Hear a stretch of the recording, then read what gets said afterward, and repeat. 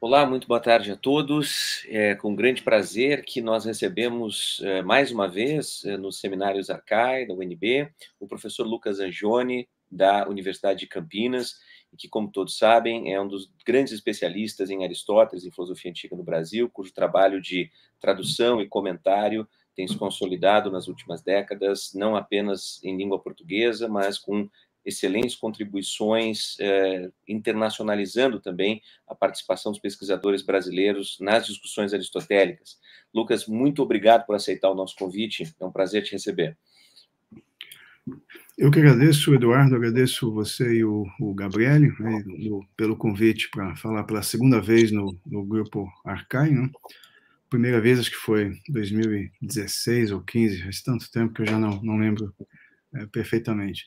Mas é um prazer estar aqui de volta. Né? Bom, e as, bom, sem mais delongas, acho que eu posso começar a apresentar, então, a, a compartilhar a tela aqui. Vamos lá. Ok. É um pouquinho diferente do Google Meets, com o qual estou mais acostumado, mas vamos lá. Aqui.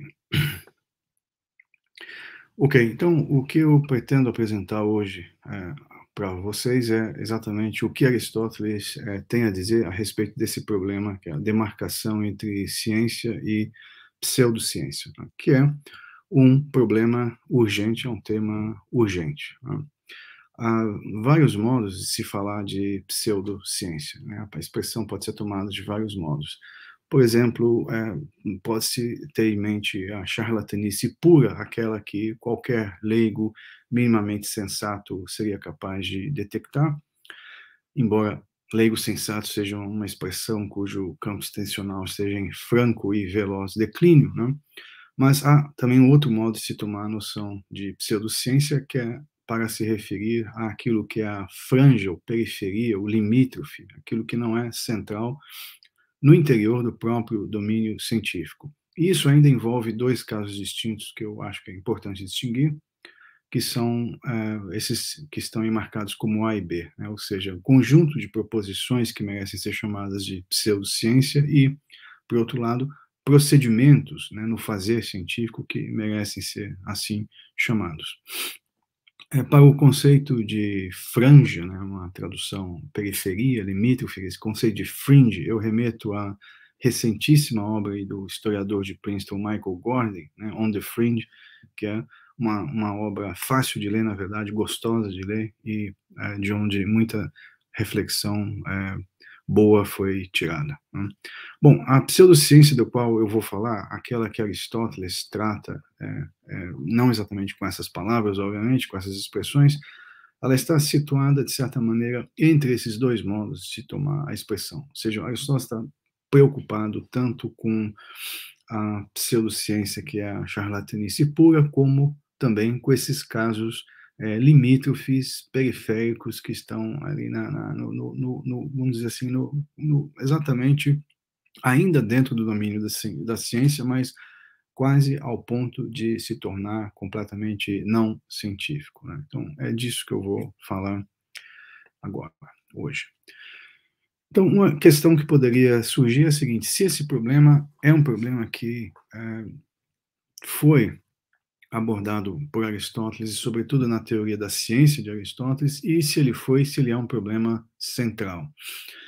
A minha resposta será é, afirmativa. Né? Os segundos analíticos são dedicados a estudar a noção de conhecimento científico, como todos sabem, mas isso é uma, uma, uma, uma afirmação muito genérica. Né? O que, que significa dizer que uma obra, segundo os analíticos, é devotada a estudar o conhecimento científico? Eu vou explorar isso nos próximos slides e o texto base que é, eu vou explorar esse texto 1, que é exatamente onde Aristóteles define, se não é uma, exatamente uma definição, é pelo menos uma descrição, já com intenção de é, providenciar algo parecido com uma definição que Aristóteles está fornecendo aí. Então eu leio.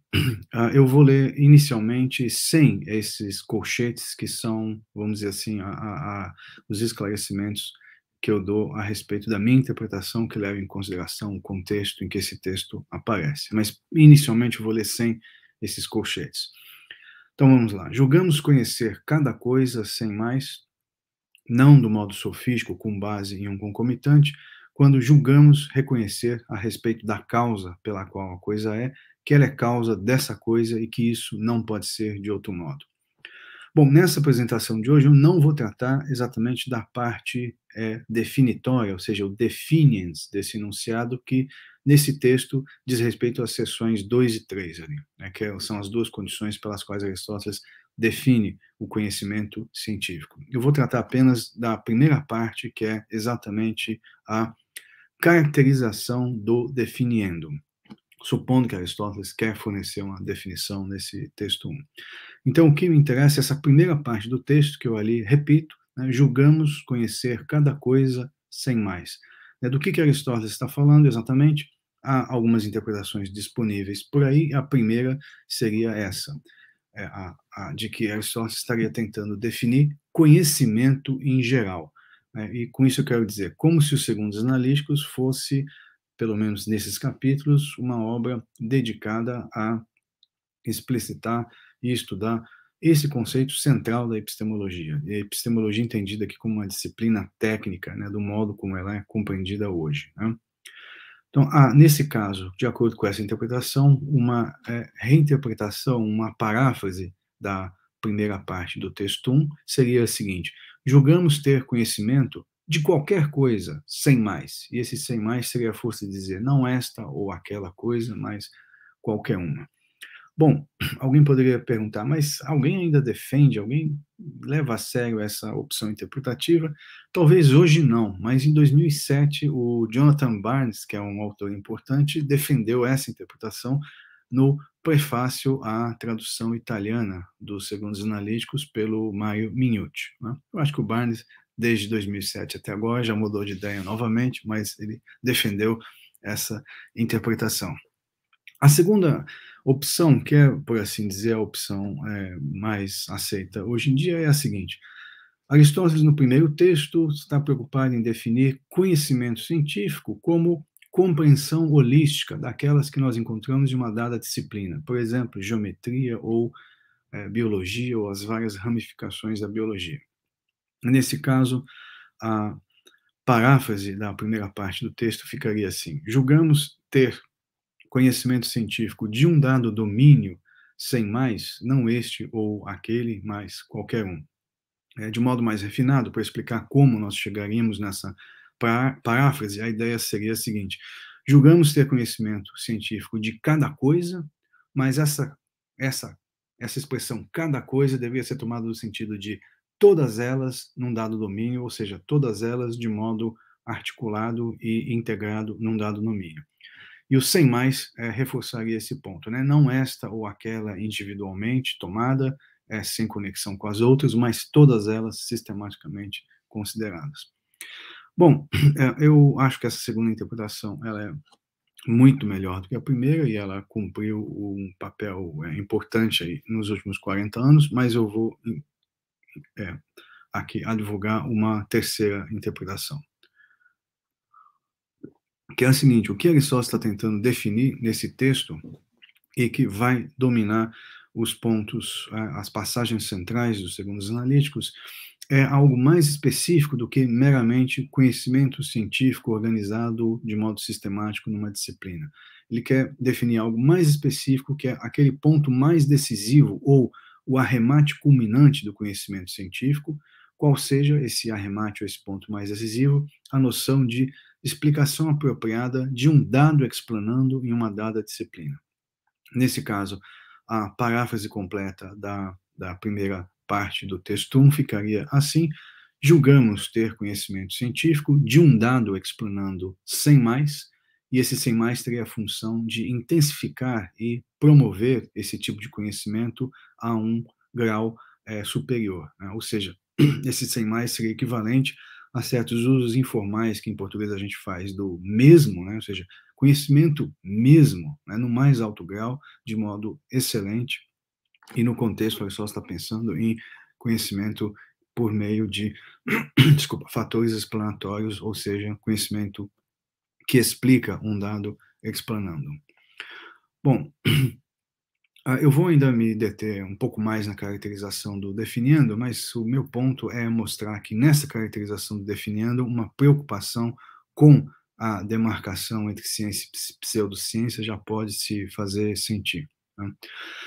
Eu quero ainda explorar o seguinte ponto: né? as expressões conhecimento científico e ciência que nós usamos hoje em dia para traduzir de acordo com o contexto episteme, é, nos segundos analíticos, ela pode ser tomada de vários modos, e vários modos que se referem a certas ocorrências específicas em contextos distintos nos segundos analíticos. Então, por um lado, episteme, conhecimento científico ou ciência, pode se referir a um conjunto articulado de proposições verdadeiras sobre um dado objeto, constituindo uma disciplina científica. Por outro lado, é a opção B agora, o, o, a noção de ciência ou episteme em grego pode se referir à atividade de estar profissionalmente envolvido na construção do conhecimento científico entendido do modo anterior, em todas as suas etapas. Ou seja, quando a gente fala de ciência ou conhecimento científico, a gente pode, em alguns contextos, se referir também é, a um conjunto de atividades como coleta de dados escrutínio dos dados, onde isso é pertinente, testes, é, em grego, hipóteses explicativas e assim por diante. Né? Embora o, a ocorrência do termo episteme com essas acepções seja rara, quando Aristóteles usa expressões como roi epistemones, né? aqueles que conhecem, é, e quando ele usa também adjetivos como epistemonicon, ele está pensando nessa gama mais ampla de tarefas que alguém empenhado em produzir conhecimento científico normalmente desempenha.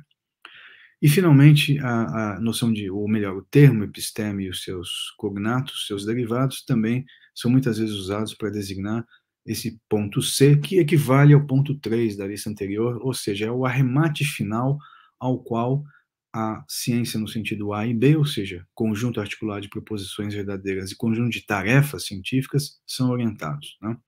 Esse arremate final consiste no seguinte: explicar do modo mais apropriado e tanto quanto possível definitivo e irrefutável um dado explanando em uma disciplina científica. É exatamente isso que Aristóteles está se propondo a definir no texto 1, ao qual agora eu volto e leio com, as, com os conteúdos entre colchetes para explicitar exatamente o que Aristóteles está definindo. Então, o que o texto 1 está propondo é o seguinte: a, a, é a seguinte noção. Julgamos conhecer cientificamente cada coisa, isto é, cada explanandum, sem mais, não do modo sofístico, com base em um concomitante, mas se trata de um fator explanatório concomitante. Então, o que eu quero ressaltar aqui é o seguinte, que nessa apresentação do definindo é, conhecimento científico, que vai marcar o tratado como um todo dali por diante, nessa apresentação Aristóteles já marca esse definindo por meio de um contraste com um modo sofístico de conhecer. E esse contraste se dá em termos de diferentes propostas de explicação, ou seja, seleção de diferentes fatores explanatórios para explicar um dado explanando. Né? Um modo sofístico é um modo de conhecer, ou seja, de explicar um dado explanando pela seleção de certos fatores explanatórios e o conhecimento científico mesmo se dá por contraste com esse modo sofístico. E a ideia que eu estou aqui, então, propalando é a ideia de que Aristóteles reconheceu a existência de sofistas que propunham demonstrações aparentes essa expressão ocorre, de fato, em, em, em uma passagem das refutações sofísticas. Né? Sofistas, então, propunham demonstrações aparentes que selecionam fatores explanatórios que, exatamente enquanto dotados de uma pretensão explanatória, Aristóteles chama de concomitantes. Dizer, enquanto dotados de uma pretensão explanatória em relação a um dado explanando, eles são chamados de concomitantes porque eles apenas vão junto com explanando, sem capturar aquilo que é mais importante para realmente entregar a explicação apropriada, ou seja, aquilo que é o mais importante para fazer o explanando ser o que ele é. Ok? Só um, um pequeno detalhe que eu não coloquei aqui na, nas, nos slides, que é a, a, a uma importante advertência sobre quem são esses sofistas. Né? Quando se fala em sofistas, muito naturalmente se pode pensar em alguns nomes clássicos como Protágoras, Górgias, Hípias, etc. e tal. Bom, quanto a Hípias é um pouco mais complicado, mas Aristóteles não está pensando nesses, nessas figuras clássicas, ele está pensando em fulanos supostamente bem posteriores, como, por exemplo, Brisão. Nós vamos ver bastante o Brisão. Alguns preferem falar Brisão, né? mas eu falo Brisão é, em é, consonância com a opção que a gente tem de falar Platão e não Platão, né? ok? Então, vamos falar bastante de Brisão.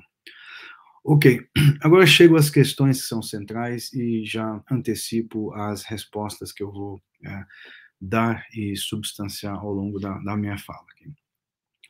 Então, uma primeira questão que é a seguinte: é, se existe, nos segundos analíticos, alguma preocupação central ou decisiva com o problema da demarcação? Então, a minha resposta é sim. O que eu tentei explorar até agora, a partir do texto 1, que é a definição, ainda que seja protocolar, do conhecimento científico, foi no intento de mostrar exatamente isso. Aristóteles, quando ele apresenta o conceito central ao qual o tratado vai, dedicar, eh, vai ser dedicado, ele o apresenta em contraste com um modo sofístico, e isso atesta um, uma preocupação que eu acho central com o problema da demarcação. Mas tudo isso ainda é muito vago, né? Por isso é necessário ter uma segunda e uma terceira questão. A segunda questão é se os segundos analíticos oferecem critérios claros para resolver o problema da demarcação. E a resposta é mais ou menos, é, nós veremos que essas respostas, em termos de mais ou menos, é mais ou menos a tônica do que a gente encontra ao longo da história é, da, da filosofia da ciência, pelo menos em um certo recorte. E há uma terceira questão que é se Aristóteles, nos segundos analíticos, na verdade, na sua obra como um todo, julga ser possível resolver o problema da demarcação com critérios perfeitos, delineando uma fronteira clara e inequívoca. Ou seja, o que essa terceira questão está é, explorando é o seguinte: mesmo que Aristóteles não tenha sido capaz de ele próprio resolver o problema da demarcação, é, será que Aristóteles julga possível é, e factível resolver esse problema com critérios é, perfeitamente distintos? E aí a minha resposta é não, ok? Eu vou substanciar isso ao longo da fala. Bom, em primeiro lugar, eu coloco à disposição uma sequência de passagens em que nós temos outras evidências textuais da preocupação de Aristóteles com esse tipo de argumento que eu chamei aqui de demonstração sofística.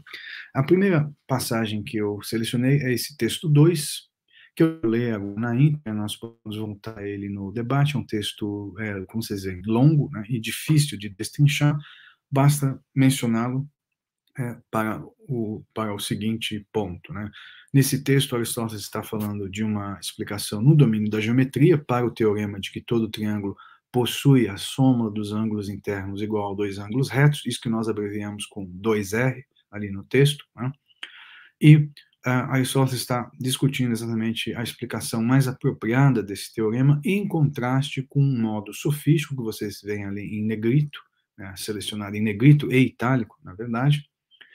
E esse modo sofístico, muito difícil de ser reconstituído nesse texto, mas nós conseguimos fazer algo mais ou menos satisfatório a partir das indicações de contexto. Esse modo sofístico é um modo que opera é, de maneira bem sutil, porque ele satisfaz várias, é, várias condições, satisfaz vários requisitos para ser uma demonstração apropriada, mas não é. Ou seja, algum requisito ele falha em cumprir, mas ele cumpre com vários outros requisitos. Por isso que é um modo sofístico difícil de detectar. Mas em outros textos nós temos é, evidências mais palatáveis para uma apresentação oral. Por exemplo, no texto é, 3, que vem do capítulo 6 do livro 1. É, eu leio. Então, é evidente que são ingênuos os que julgam assumir acertadamente os princípios se a premissa for bem reputada e verdadeira, tal como os sofistas, né, tal como os sofistas fazem. Conhecer é ter conhecimento, né, entre aspas, porque se trata muito provavelmente de uma premissa bem reputada e verdadeira que sofistas teriam introduzido em algum contexto argumentativo. Continua. Ora, princípio não é aquilo que é bem reputado por nós, mas sim o fator primeiro do gênero que se pretende explicar.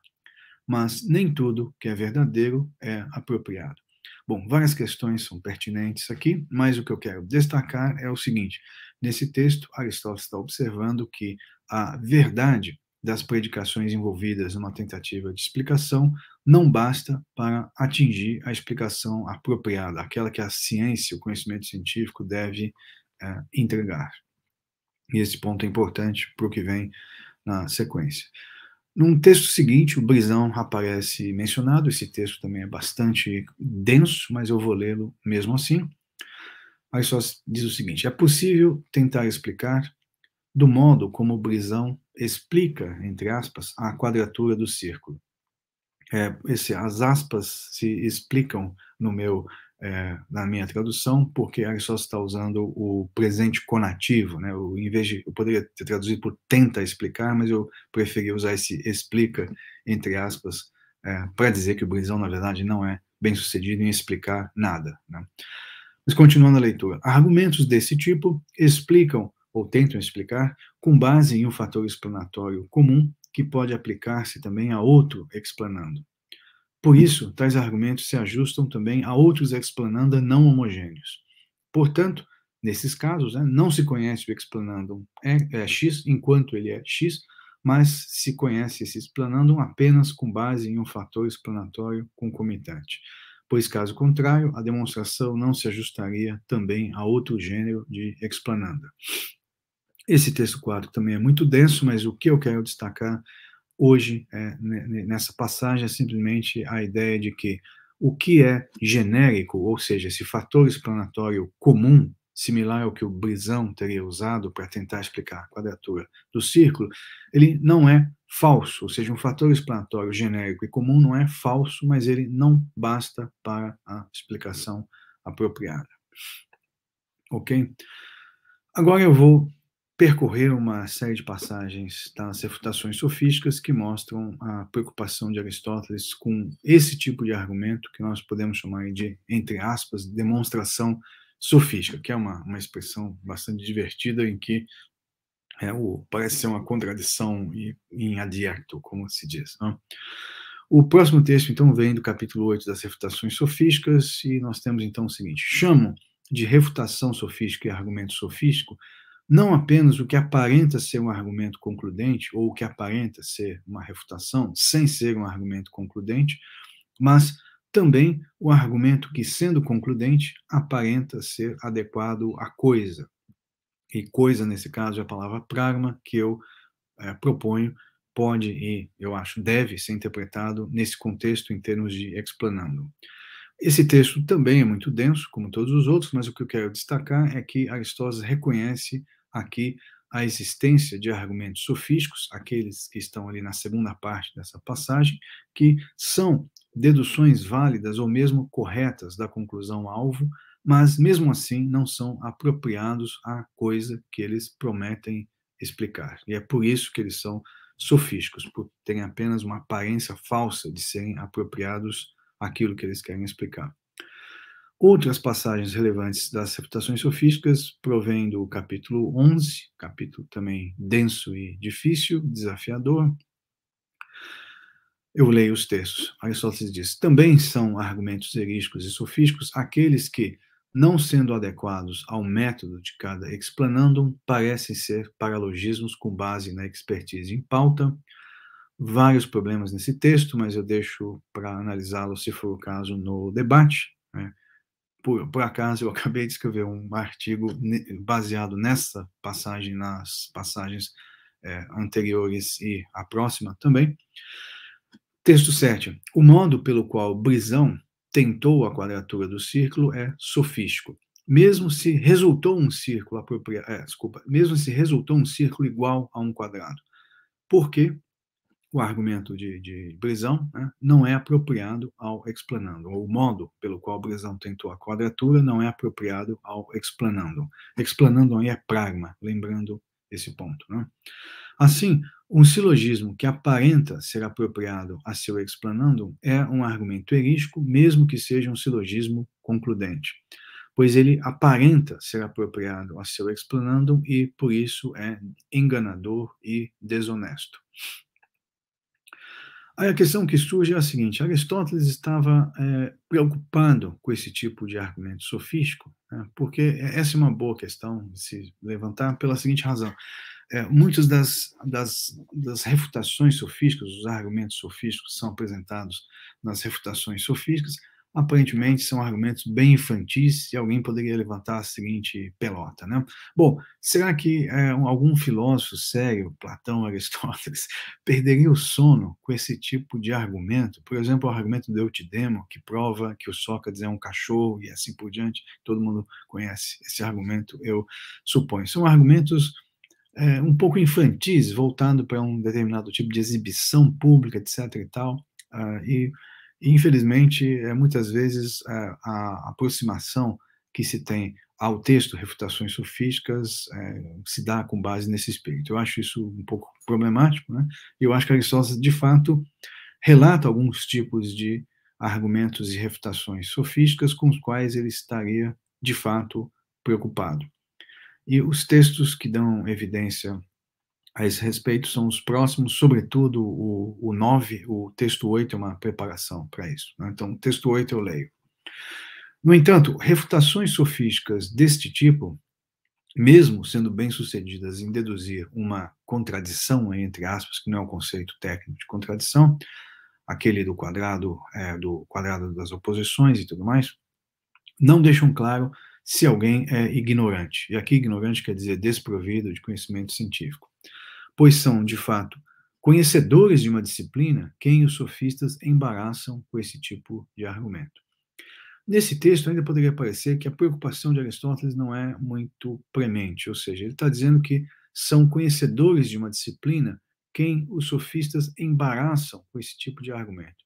Embaraçam é uma opção possível para traduzir o verbo empodizos, que aparece aqui, e nessa versão embaraçam é, aparentemente a preocupação de Aristóteles não seria muito grande. Ou seja, a gente ainda poderia entender que os sofistas estão causando ali algum tipo de constrangimento é, com, com, com o uso de argumentos é, infantis e claramente é, estúpidos, né, que causam alguma, algum constrangimento público aos conhecedores de uma disciplina, mas que a rigor não deveriam ser levados a sério. Né?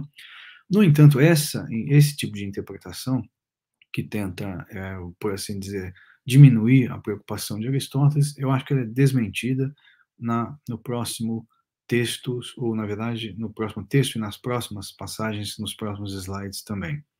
Então, texto 9, nós temos o seguinte, vem do capítulo 6 das refutações sofísticas, mas neste ponto, tanto os experts como, em geral, os que têm conhecimento científico, são refutados pelos que não têm conhecimento científico, ou conhecimento. Pois estes últimos, é, que não têm conhecimento científico, produzem argumentos com base em um fator explanatório concomitante contra os que têm conhecimento, os quais, por sua vez, incapazes de identificar as distinções relevantes, ou fazem concessões ao serem pergunta perguntados, ou, ao fazê-las, dão a impressão de tê-las feito. Ok? Uh, esse texto também é controverso, mas eu tomo um verbo em questão, é, nesse sentido aí que eu traduzi, o dar a impressão de, ou seja, se trata aqui de um efeito que o conhecedor científico gera numa audiência, ok? Numa audiência pública em que o debate é, é por assim dizer, conduzido, né? E esse é, efeito gerado numa audiência pública é que é, gera uma preocupação é, em Aristóteles. A gente vai ver isso com mais detalhe no próximo texto. Esse próximo texto vem dos Segundos Analíticos, o capítulo 12 do livro 1, um capítulo bastante negligenciado. É, o que eu saiba, não tem nenhum artigo sobre esse capítulo na literatura especializada. Né? Talvez tenha algum no século XIX, começo do século XX, mas eu não achei. Mas vamos lá. É, eu, discuti, eu, dividi essa passagem em quatro é, subpassagens, né, subseções, nós vamos passo a passo. Então, se alguém discutir com o geômetra enquanto geômetra deste modo, é evidente que discutirá acertadamente. Se explicar algo com base nessas coisas, os princípios apropriados ao domínio da geometria. Então, aqui nessa passagem, Aristóteles está é, dizendo que é, uma discussão com o geômetra é pertinente e apropriada quando ela é feita com base nos princípios apropriados ao domínio da geometria, com base em teoremas estabelecidos na geometria, com base em premissas usadas para estabelecer esses teoremas. Passo ao, ao, ao, à parte 2. Né? Caso contrário, não se discutirá acertadamente. Ou seja, se você discutir com o geômetra, mas sem usar princípios apropriados ao domínio da geometria, teoremas geométricos, premissas que são usadas para deduzir ou explicar esses teoremas. Se você fizer isso, você não discutirá acertadamente com o geômetra. E o ponto aqui, eu não estou lendo, mas estou esclarecendo o contexto, né? O ponto aqui, Aristóteles certamente conhecia práticas é, de discussão contra ou com ou contra geômetras que justamente infringiam esse conselho dado na parte 1. Na parte 3, Aristóteles continua. É claro que tampouco refuta o geômetra. Não tem sujeito o verbo, é assim mesmo. Né? Tampouco refuta o geômetra, a não ser com base em um fator explanatório concomitante. Eu creio que o sujeito do verbo refutar aqui em grego são justamente os fulanos que discutem com o geômetra, não do modo como Aristóteles está recomendando na primeira parte dessa passagem. Então, esses fulanos que discutem com geômetra, mas não usando os princípios apropriados ao domínio da geometria, eles tampouco refutam geômetra, a não ser com base em concomitantes, em fatores explanatórios concomitantes. E aí, a conclusão de Aristóteles na passagem, que é o trecho 4, por conseguinte, não se deve discutir geometria entre não geômetras, pois há de passar despercebido aquele que discute de modo medíocre semelhantemente também nas demais ciências. Esse texto é bastante complexo e denso também, mas o que eu quero destacar é o seguinte: Aristóteles está reconhecendo aqui a existência de argumentos que eu declaro ser sofísticos, que almejam produzir a aparência de adequação científica para o público leigo e não especialista, ok? Aqueles que não são geômetras e, semelhantemente, para todas as demais ciências. E esses argumentos científicos que almejam produzir aparência de adequação científica para o público leigo são muito parecidos com as demonstrações científicas. Esses argumentos almejam essa aparência e esse ser muito parecido, e eles têm como alvo produzir exatamente uma reputação de é, domínio científico, de, de ter domínio numa, determinada disciplina científica, em vez de almejar exatamente uma explicação que fosse realmente apropriada.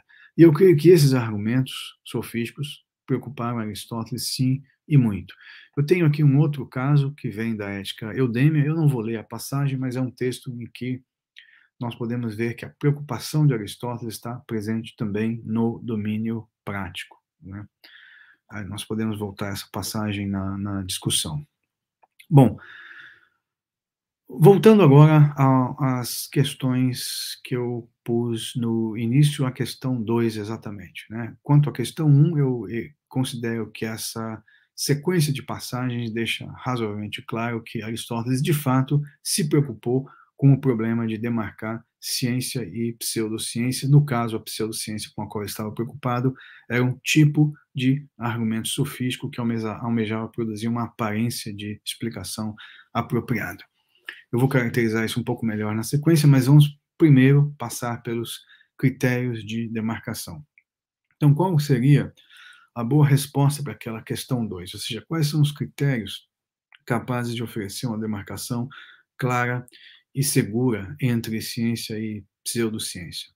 E agora eu vou passar seis é, critérios possíveis que nós poderíamos imaginar e ver o que é, Aristóteles teria a dizer a respeito deles. O primeiro critério seriam erros lógicos, ou seja, nós poderíamos dizer que uma pretensão científica ou uma tentativa de se apresentar como conhecedor científico falharia se ela estivesse assentada em erros lógicos cometidos de maneira frequente e significativa. Né? Um exemplo que Aristóteles dá de erro lógico bastante trivial é essa falácia do, do consequente cometida por um cara chamado Seneu, né, que está aí no, no, no, no, slide, né, o, o fulano teria, é, entre aspas, concluído que o fogo é a proporção múltipla, a, a partir dessas duas premissas, a proporção múltipla se engendra rapidamente, e aí ele afirma o consequente, tomando essa, essa sentença, a primeira premissa, como um antecedente consequente, né, é, ele afirma o consequente engendrar-se rapidamente do fogo e conclui o antecedente, o fogo é a proporção múltipla. Bom, uh, o ponto é que, uh, com certeza, competência científica, aos olhos de Aristóteles, inclui saber quais são as relações lógicas entre as proposições de um dado domínio. Obviamente, isso não é condição suficiente para ter competência científica. Tá? Mas daí nós podemos inferir, se alguém ah, de fato se arvora a ser cientista, mas comete erros lógicos desse tipo o tempo todo, Aristóteles poderia dizer: bom, isso aí não é ciência, é, isso é pseudociência. Poderíamos julgar que é assim que Aristóteles procede. Não é bem assim, mas vamos prosseguir um pouco. Uma segunda alternativa seriam certas objeções sutis feitas contra os geômetros. Eu estou retirando isso do comentário do Próculos, ou Próculo, fica muito feio em português falar Próculo, mas vamos lá. O comentário de Próculo aos elementos de Euclides. Bom, isso aqui é bastante técnico, eu vou passar muito rapidamente por, por isso e suponho que vocês tenham familiaridade com a geometria de Euclides, é, senão fica é, muito é, solto. Né? Mas a ideia é que na proposição 1 de Euclides, vocês têm ali o diagrama, que não é o do Euclides, é o, o diagrama que é proposto por alguém que faz uma objeção contra o Euclides. Né? Mas na proposição de Euclides, a ideia é, a partir de uma reta, que é a reta alfa-beta, você construir um triângulo equilátero. E a solução é simples, você faz ali aqueles dois círculos, tomando o ponto alfa e o ponto beta como centro do círculo, né, e gira o raio aí você chega àquele ponto de intersecção gama, e aí é só ligar alfa, gama e gama, beta, e você tem um triângulo equilátero. É claro e distinto, para quem já leu Euclides, primeira proposição, é claro e distinto. E aí tem uma objeção que é a seguinte, hum, peraí, mas imagina que o raio do círculo, né, partindo ali do ponto alfa, chega num determinado ponto y antes de chegar no ponto gama. É claro que isso em geometria não euclidianas pode ser interessante, etc. E tal, mas é, no escopo da geometria euclidiana, isso soa como pura picaretagem. Né? O mesmo ocorre com a próxima objeção, que é a proposição 30 do Euclides, é duas linhas paralelas a uma terceira são também paralelas entre si. O diagrama também vem da, da edição Frey, é, do Fräulein, né, do, do Proclus, e o que eu preciso aqui, é, podem ignorar a última reta ali embaixo, o que o Proclo mesmo usa para expor o ponto é a reta gama delta. Suponha que você tenha a, a, a reta gama delta como ponto de referência e alguém fazendo uma objeção a essa proposição de Euclides diz o seguinte: olha, veja só, eu tenho ali uma reta que é a alfa teta, ok? E ela é paralela à gama delta. Ignora o capa agora. E eu tenho uma outra reta que é beta teta, e ela é paralela à gama delta. Agora veja só, eu tenho duas linhas, a teta, a, desculpa, a alfa teta e a beta teta, elas são paralelas a uma terceira, que é a gama delta, mas elas não são paralelas entre si. Tá? A alfa teta e a beta teta não são paralelas entre si.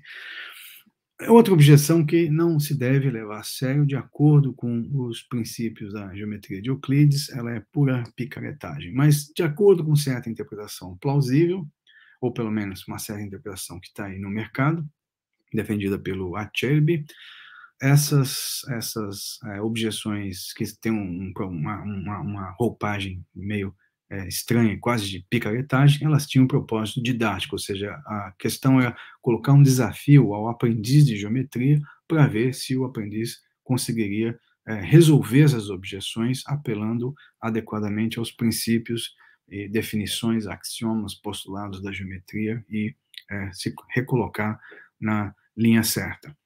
Então, uma questão que eu formulo é a seguinte, né? Esse tipo de objeção, é, se a gente é, tirar esse propósito didático é, de trás delas, se elas seriam algum tipo de procedimento completamente é, pseudocientífico aos olhos de Aristóteles. Eu vou responder mais adiante e vamos passar. Em seguida, há, outras, outros candidatos a oferecer critérios de demarcação, que seriam falhas de observação, falhas é, diretas na, no estabelecimento dos fenômenos que genuinamente devem contar como explananda, e é, o quarto, né, explicações precipitadas que contradizem fenômenos observáveis e observados. Né? Eu tenho aí uma lista de vários casos em que Aristóteles identifica problemas desse tipo no tratado sobre a respiração, mas também na geração dos animais. Um caso bem divertido é a, a, discussão que ele tem de uma tese segundo a qual o que determina o sexo de animais que se reproduzem sexuadamente é a presença do embrião no lado esquerdo ou direito do útero, né, alguma coisa, não lembro bem se qual que é esquerdo ou direito, mas seria se é esquerdo vai nascer fêmea, se é direito vai nascer macho. E no Decaelo, a introdução da antiterra pelos pitagóricos.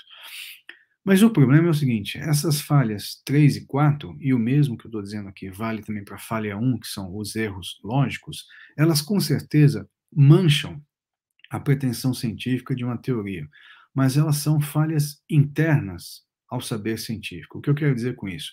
São falhas que o cientista é, normalmente comete, pelo menos de acordo com uma certa frequência, que não pode ser muito alta, né? e não é por ter cometido algumas dessas falhas que o cientista vira pseudocientista. Né?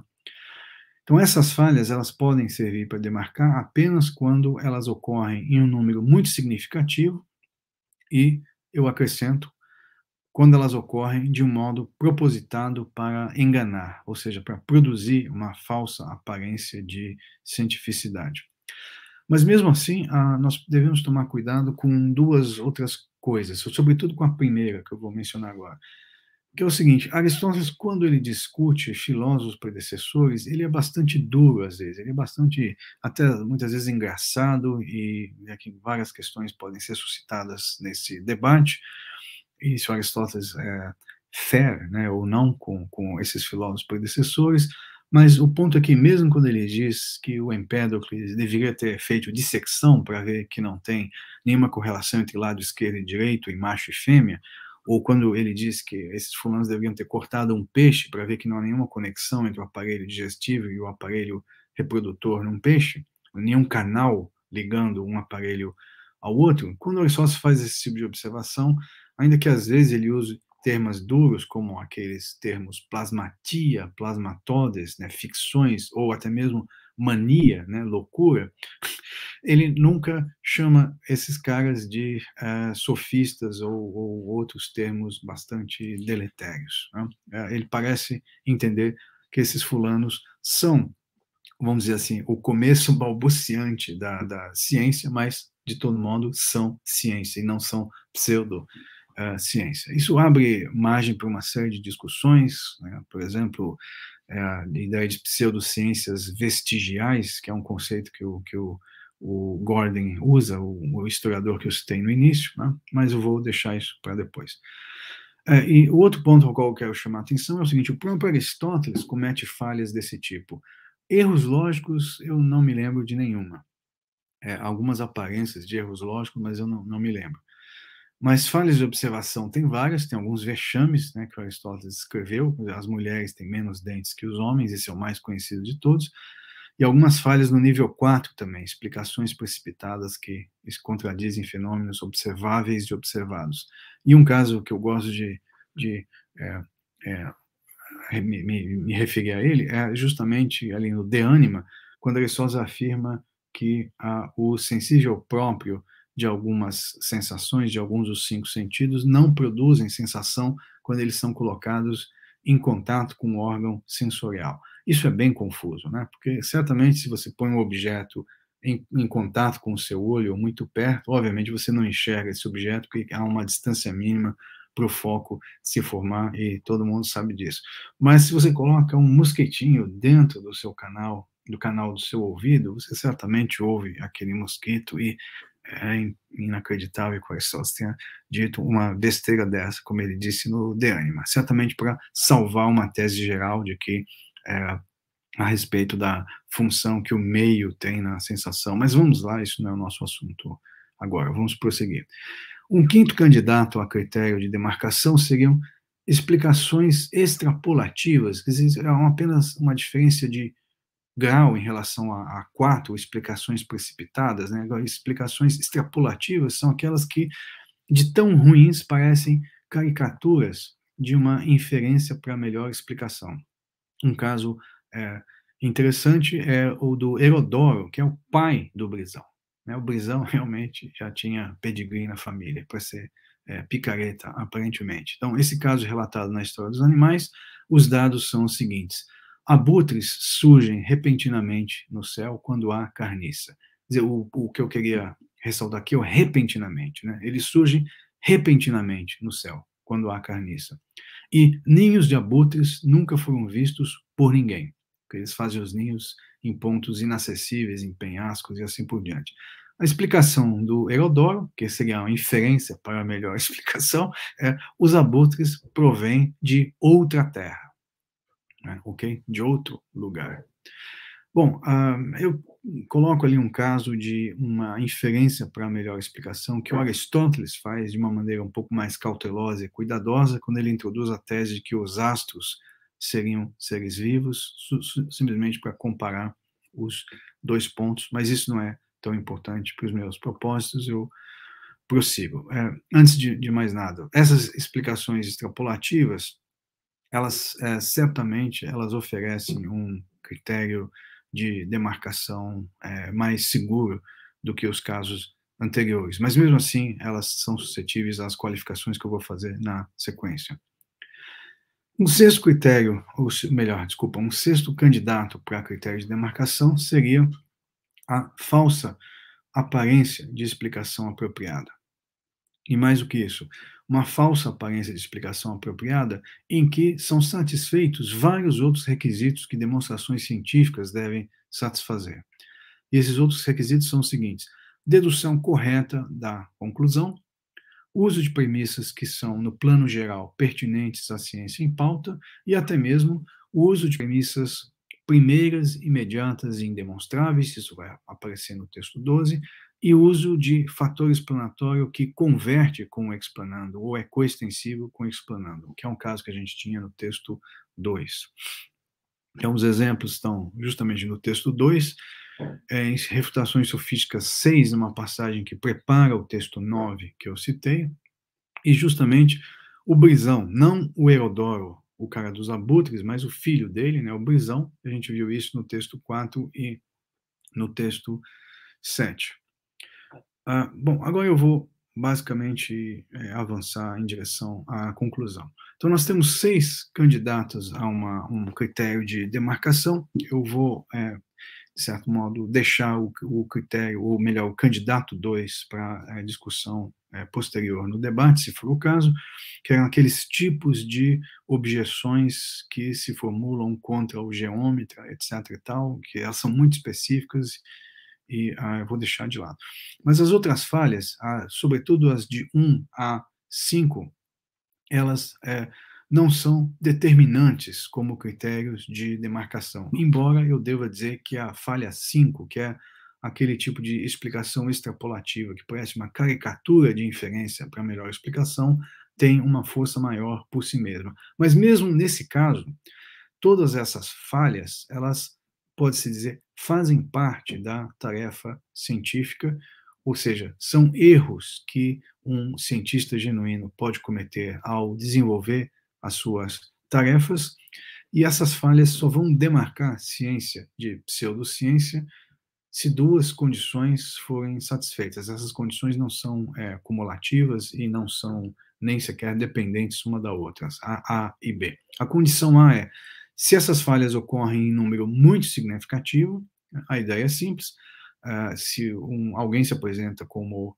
é, cientista, alguém está apresentando uma nova ciência ou um novo modo de fazer biologia, geometria ou algo assim, e alguém apresenta a, as falhas anteriores, por exemplo, erros lógicos ou é, é, falha na coleta dos dados, em caso de ciências empíricas, num número pequeno, certamente nós não estamos autorizados a dizer que esse fulano é um, um pseudocientista. Mas se essas falhas ocorrem de modo sistemático, e como eu disse, muito significativo, aí sim o Aristóteles diria que elas é, são suficientes para demarcar ciência de pseudociência, e eu tenho ali algo que não é ciência, é pura picaretagem.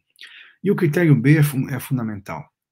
Essas falhas todas, elas são suficientes para demarcar se elas ocorrem de modo propositado para enganar, ou seja, para gerar uma ilusão, uma falsa impressão numa audiência ou num público específico de que conhecimento científico foi de fato oferecido. E esse critério B, eu vou argumentar em seguida, é mais decisivo. Então, mesmo na falha 5, que é a falha do Herodoro, aquele, no caso dos abutres, né, o que faz dela uma falha estritamente sofística é o propósito de é, enganar, e não exatamente o fato de que a falha é, explanatória é extrapolativa e, e, enfim, não, não atentou aos dados do problema, etc. E tal. Porque esse tipo de falha cientistas normalmente podem cometer também. Já a falha do tipo 6, que é a falha que eu caracterizei no slide anterior, como tendo como exemplo o brisão, ou seja, uma falha muito mais sutil, porque se trata de um argumento que a dedução correta da conclusão, premissas que são pertinentes à ciência em pauta e são até mesmo primeiras, imediatas e indemonstráveis, além de serem verdadeiras, obviamente, e muitas vezes com o uso de fatores explanatórios que convertem com explanando. Então, esse tipo de falha, falha 6, é muito mais determinante como critério de demarcação. Então, Brisão, aos olhos de Aristóteles, é certamente um pseudocientista. E, portanto, a, a falha 6 é determinante, tem o poder de demarcar é, nesse caso.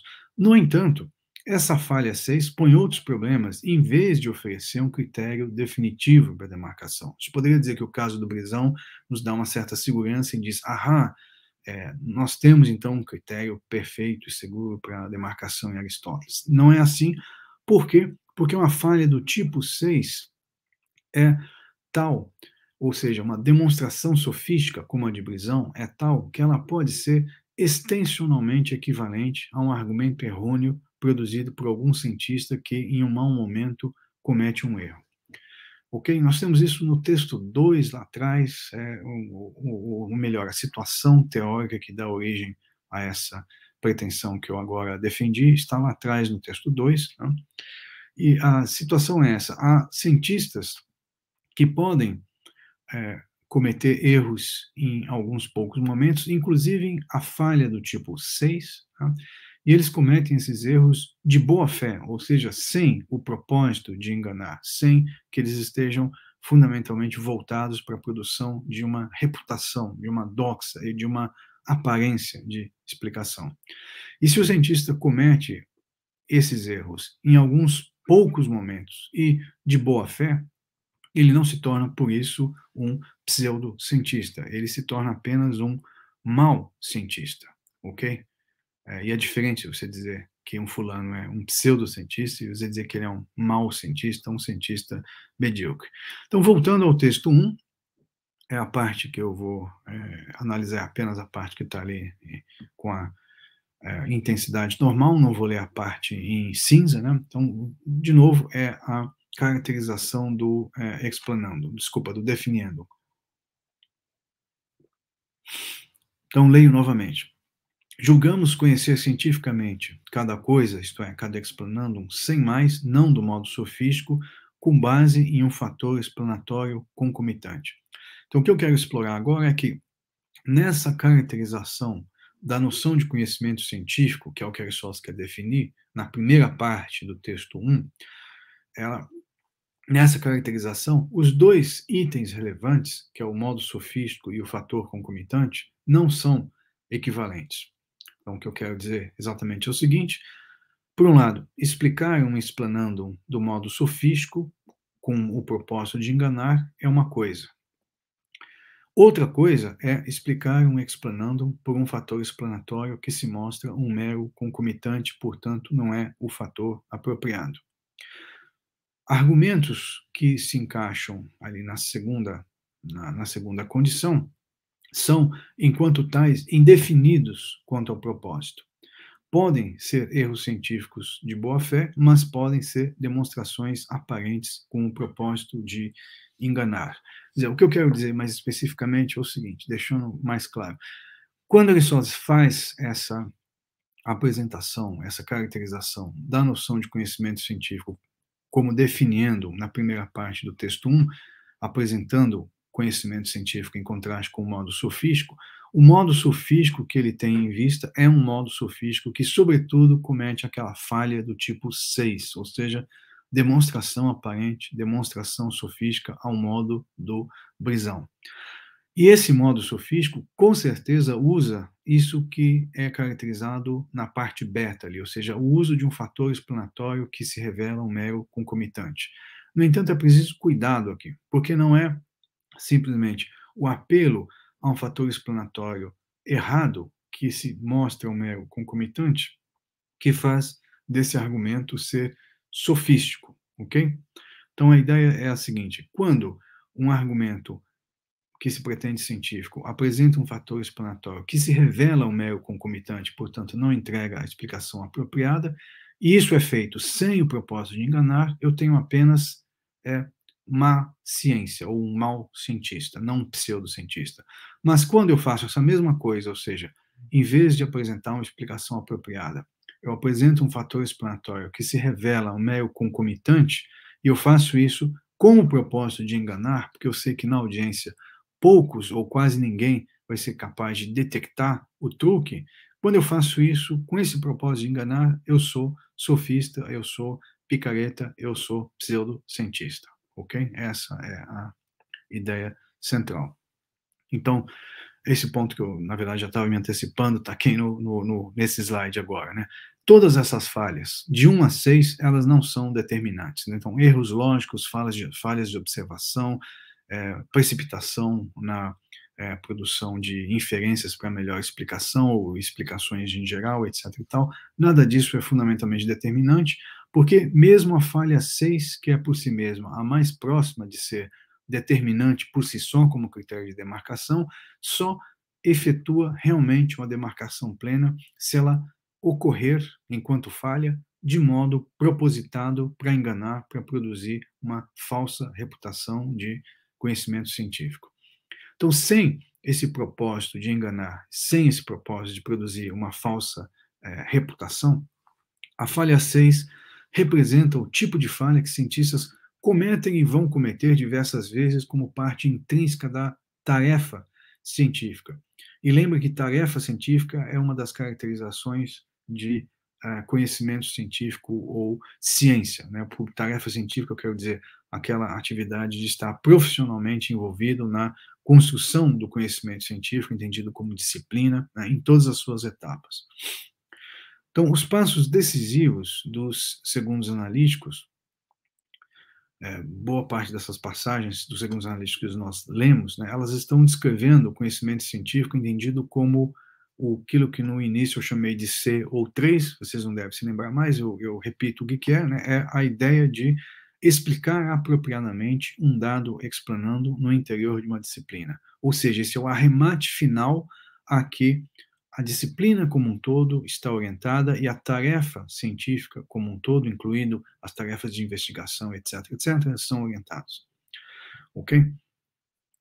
E uh, explicar do modo mais apropriado e tanto quanto possível, definitivo e irrefutável em um, da, um dado explorando em uma dada disciplina é, por assim dizer, esse arremate final que decide se alguém realmente tem conhecimento científico ou não. E é isso que a Aristóteles está tentando caracterizar em várias passagens chaves dos segundos analíticos. Então, se alguém não atinge esse arremate final, o ponto de Aristóteles é o seguinte: nós não estamos autorizados a dizer que esse fulano é um pseudocientista ou é um picareta. Ele é simplesmente um cientista que não conseguiu chegar lá e é difícil chegar lá. O que é realmente decisivo é o propósito de é, produzir uma falsa aparência de que você chegou lá. E eu então vou terminar com esse texto que é o meu preferido, sem mais, na obra do Aristóteles. É, é, é difícil fazer uma, uma intervenção ultimamente, nos últimos anos, sem mencionar esse texto, que é, é exatamente o, o, o meu texto predileto. Né? como é difícil saber se chegamos lá. Onde chegamos lá é exatamente você ter atingido aquilo que Aristóteles está caracterizando como conceito central dos segundos analíticos, que é, é atingir a explicação plenamente, plenamente apropriada de um dado explanando. Então, só um instante. Antes de ler.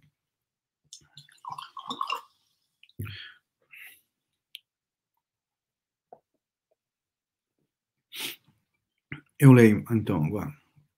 Aí só se diz o seguinte: bom, desculpa, eu vou ler já com essas é, explicações entre colchetes, né, que, com base na informação que a gente tem de contexto próximo e remoto, é, substanciam exatamente o que é, Aristóteles está dizendo na passagem. Então, agora eu leio.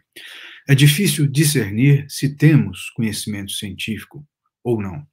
E conhecimento científico é a explicação apropriada de um dado explanado. Pois é difícil discernir se conhecemos um dado explanando pelos princípios que são dele, exatamente dele. E é isto que é precisamente ter conhecimento científico. Nós achamos que temos conhecimento científico, isto é, explicação apropriada de um dado explanando, quando possuímos um silogismo que procede de princípios verdadeiros e primeiros. Mas isso não é o caso. Ou seja, possuir um silogismo que procede de princípios verdadeiros e primeiros não é suficiente para ter conhecimento científico, explicação apropriada de um dado explanando. Então, leio agora a parte final. É preciso, né, obviamente, é preciso para que você realmente atinja a explicação apropriada, é preciso que os princípios explanatórios sejam apropriadamente adequados, termo grego singenês, aos termos primeiros, isto é, os atributos a serem explicados. Várias questões interessantes aqui a respeito do texto 2, mas o que eu quero destacar é que esse texto 12 está justamente é, deixando é, absolutamente claro que, para Aristóteles, há uma tremenda dificuldade em discernir se nós temos conhecimento científico entendido do modo mais exigente, ou seja, explicação apropriada de um dado explanando em uma dada disciplina. E, de certo modo, o que eu quero, então, defender é que esse texto 12 nos mostra a dificuldade de discernir, desculpa, dificuldade de demarcar entre ciência e, é nem pseudociência, mas ciência e má ciência. Né? quanto mais ciência e pseudociência. E a conclusão, então, que eu finalmente tiro de todas essas passagens são as seguintes, ah, respondendo às questões é, 1, 2 e 3 que eu formulei lá no início. Então, a questão 1. Se, há, se existe nos segundos analíticos alguma preocupação central decisiva com o problema da demarcação, eu creio que existe sim, claramente, e essa formulação, desculpa, e essa preocupação é central como fica claro desde a formulação do Definiendo no capítulo 2 do livro 1, que foi o meu primeiro texto. A segunda questão é saber se os segundos analíticos fornecem critérios claros para resolver o problema da demarcação. E aí a resposta é, bem, hum, mais ou menos. Ou seja, o que, que Aristóteles fornece como critério para resolver o problema da demarcação? As falhas de 1 a 5, vamos dizer assim, elas demarcam bem o que, que é uma boa ciência. Mas, é, ou seja, você não pode cometer nenhuma daquelas falhas de 1 a 5 se você almeja ser um bom cientista. Mas o seu poder de demarcação, ou seja, o poder de demarcar entre ciência e pseudociência, depende da frequência significativa e um propósito enganador. Ou seja, você deve almejar não cometer aquelas falhas se você quer ser um bom cientista, mas se você comete aquelas falhas numa frequência mínima e sem o propósito de iludir a audiência ou os pares ou os, é, as agências de fomento, por exemplo, né? se você não tem esses propósitos enganadores, você não é ainda um pseudocientista, você é apenas um mau cientista.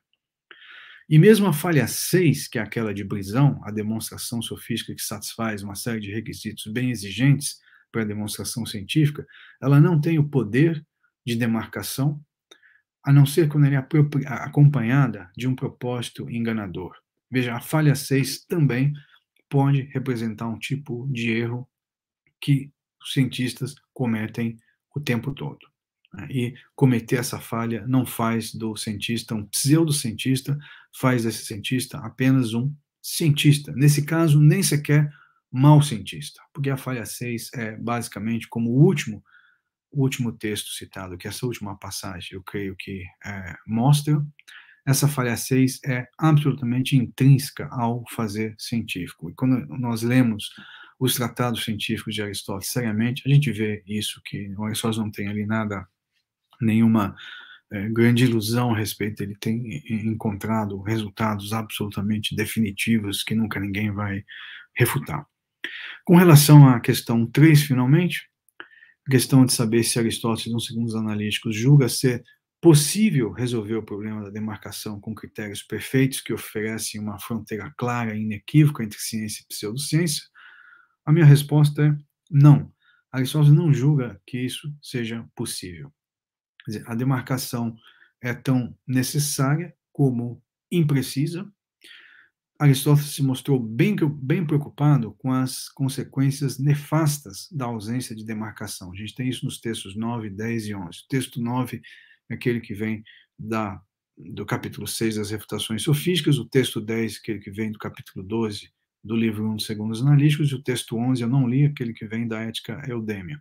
Então, uh, o ponto é o seguinte, Aristóteles, de fato, parece mais do que preocupado, ele está alarmado com a possibilidade de que picaretas, sofistas, produzindo é, argumentos que aparentam ser explicações apropriadas da conclusão, né, tomem o lugar dos cientistas, justamente porque eles produzem na audiência de leigos, né, no, entre o público leigo não especialista, uma melhor impressão de que eles sabem e dominam o conhecimento científico. Aristóteles certamente está preocupado com isso e certamente Aristóteles julga que uma consequência como esta é nefasta para a filosofia e para a ciência como um todo. E, portanto, é urgente, é premente para Aristóteles discutir a questão de como eu vou demarcar é, a, a, ciência desse tipo de é, picaretagem orientada à produção de uma falsa reputação, de uma falsa aparência de é, ciência. Mas Aristóteles, eu diria, ele parece resignado com a dificuldade de oferecer critérios precisos de demarcação. Aristóteles me parece resignado com a ideia de que não há como atingir uma demarcação perfeita. E o que eu quero dizer com isso é o seguinte: todas aquelas falhas de 1 a 6, elas funcionam com um certo poder demarcador, né? mas em casos bastante específicos, ou seja, quando elas são acompanhadas de frequência significativa e propósito enganador. E mais do que isso, né, o que é realmente decisivo como é, critério de demarcação é o propósito enganador, e isso incomoda muita gente, agora eu digo, os contemporâneos que estudam Aristóteles, né, porque o que é, muitos estudiosos querem é que o Aristóteles, não só Aristóteles, mas qualquer filósofo, forneça critérios claros e inequívocos para demarcar um argumento é, como pseudocientífico, e esse critério seja baseado em características intrínsecas que o argumento tem. Quando a gente fala em propósito enganador, a gente está falando em algo que é colocado é, extra, é, fora da, do argumento enquanto tal. Não é uma propriedade intrínseca do argumento, mas é justamente aquilo que nós fazemos com o argumento num determinado contexto social. É, eu já vi esse tipo de, de reação várias vezes e muitos é, ficam é, bastante insatisfeitos com isso, dizendo, hum, demarcar ciência de pseudociência com esse tipo de é, propósito enganador não é satisfatório, porque o propósito enganador não é uma característica é, que, é, por assim dizer, determine é, propriedades intrínsecas do argumento ou mesmo de uma teoria científica como um todo. Né? Mas é isso que, aos olhos de Aristóteles, a gente tem, e eu creio que o Aristóteles está resignado com isso e talvez até esteja satisfeito com isso. Ou seja, é assim, ou melhor, é até aí que ele conseguiria é, resolver o problema da demarcação que certamente o preocupou bastante. Bom, obrigado, é isso que eu, que eu tinha a dizer. Eu agradeço mais uma vez a todos e ao Eduardo e ao Gabriele da Arcai.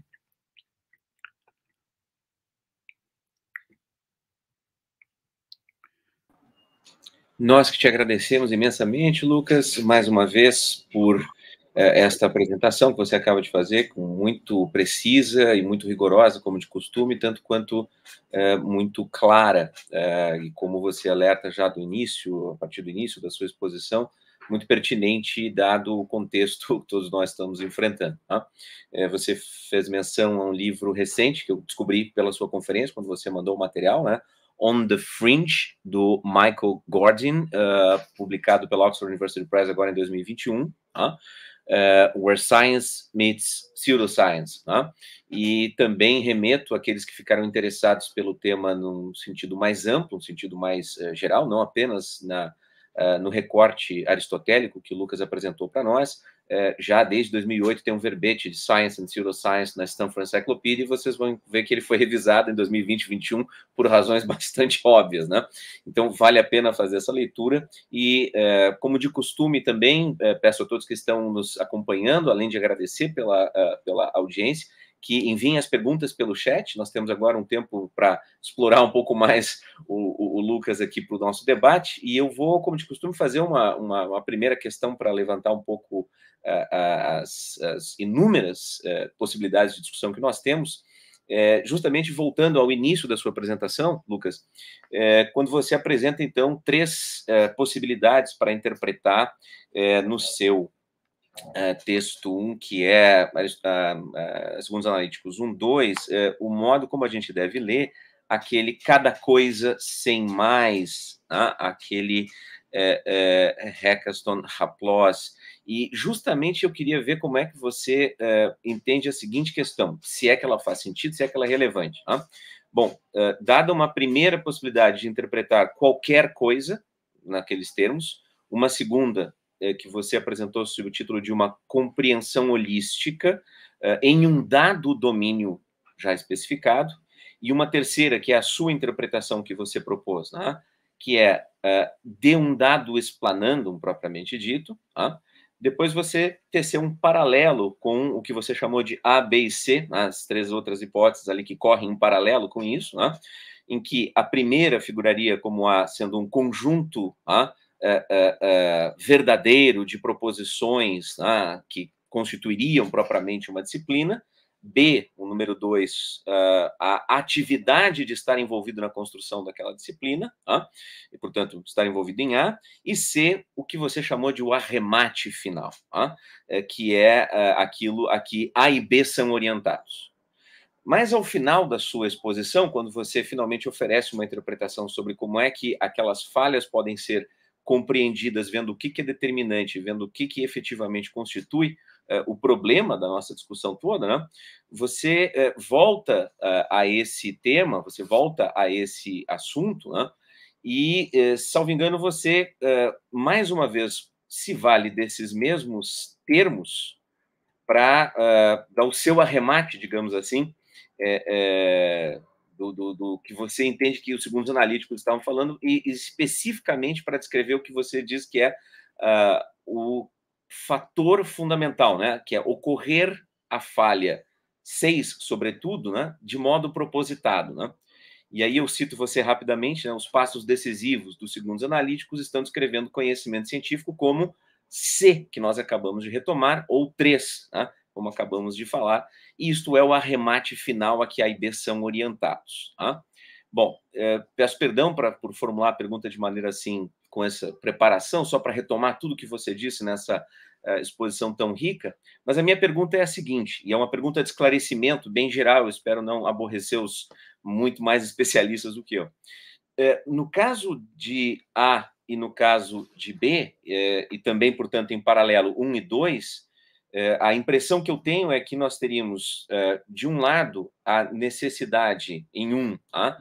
é, extraordinariamente rigorosa de que o conhecimento científico somente se daria quando satisfeita uma condição quase absurda de conhecer cada coisa ali, ser interpretada a título de conhecer tudo aquilo que deve ser conhecido para que se tenha conhecimento científico. Tá? E no caso 2, paralelamente a B, é conhecer a ciência por inteiro e não de um dado domínio. E não, por exemplo, saber conhecer cientificamente, por exemplo, a explicação para por que ocorre eclipse, mas o inteiro, a inteiro, o inteiro domínio das, uh, um, digamos assim, daquela disciplina, certo? E aí a sua solução 3 parece ser a solução que perfeitamente resolve uh, as dificuldades que as exigências postas em A e em B, em 1 e em 2, uh, teriam como excessivas, justamente por introduzir a ideia de que é, o que importa é ter um conhecimento né, científico de cada explanando, e isso é constitutivo, sim, das ciências, né, de cada domínio e, portanto, do conhecimento, conhecimento científico. Se eu entendi você corretamente, a sua solução é extremamente elegante, ela oferece, de fato, esse tipo de, de, de possibilidade. Eu conheço cientificamente um dado explanando, eu tenho a solução correta, adequada para ele, ainda que eu não esteja, como cientista, comprometido em afirmar que eu conheço por inteiro todas as proposições daquele domínio, aquelas que são verdadeiras, uh, e muito menos holisticamente tudo aquilo que pode ser uh, conhecido uh, em matéria né, cientificamente. Mas quando você retoma lá na sua conclusão, eu fiquei com a impressão de que a sua solução 3 e C, na verdade, ainda estando orientadas para 1 e 2 e para A e B, elas ainda mantêm o problema no horizonte. Quer dizer, você vê como uma espécie de uh, gradação em que, sim, se conhece cientificamente uh, cada coisa sendo interpretada no seu sentido, Lucas, né? 3 e C, uh, isto é, o, uh, cada explanando uh, e a compreensão de um dado explanando, e, portanto, esta é a constituição que vai levar à constituição da, de um domínio, de uma disciplina particular, e isto, por sua vez, da, das ciências como um todo. Uh, você vê isso como uma gradação ou você acha que há um problema de acarretar a necessidade de um conhecimento ainda totalizante, ou, para usar a sua expressão, holístico? Como se não fosse possível escapar do primeiro problema formulado na interpretação A e 1 que você apresentou. Obrigado, Eduardo, pela questão. É uma questão é, muito, muito bem, muito pertinente, muito bem formulada. Eu estou justamente com a mão na massa, né? Essas são as questões com as quais eu estou é, me, é, me deparando né, com é, nos últimos dois, três anos, assim, né? Eu diria que as, a minha posição é a seguinte. Eu vou descrever um pouco na, na ordem do tempo, assim, como quando como isso aconteceu, né?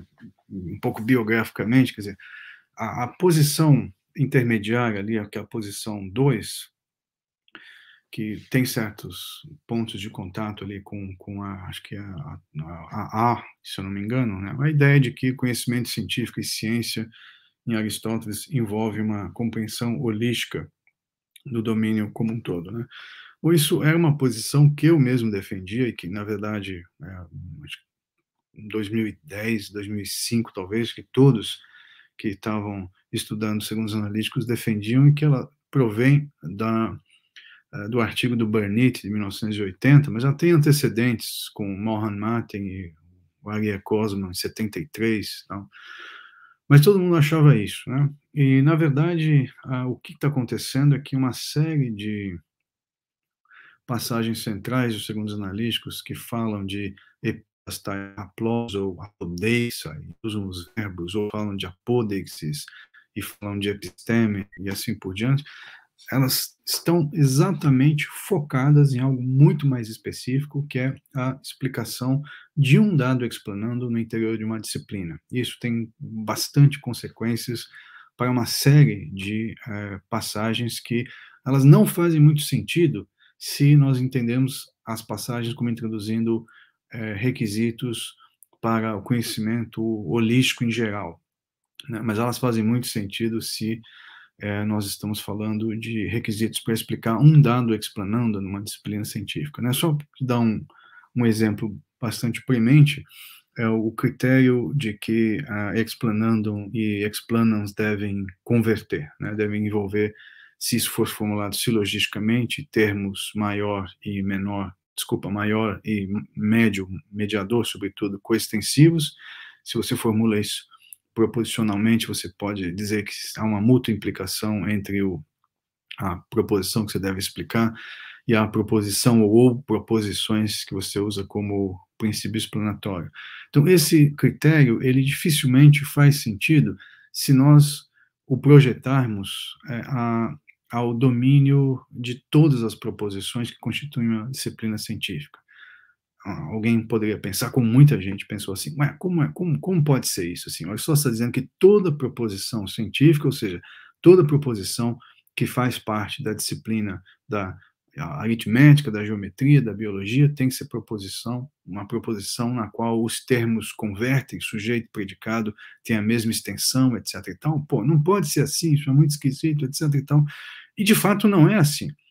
Não é que toda ciência só tem proposições com termos coextensivos, mas o que Aristóteles está dizendo é outra coisa que, em cada ciência, quando você seleciona um determinado explanandum e diz aquela lá é a conclusão alvo que eu tenho que não só deduzir, mas explicar do modo apropriado, Aristóteles diz, você só vai explicar essa conclusão do modo plenamente apropriado quando o seu fator explanatório, dentre outros requisitos, que não vem ao caso agora, quando o seu princípio explanatório, de fato, converter com o explanando.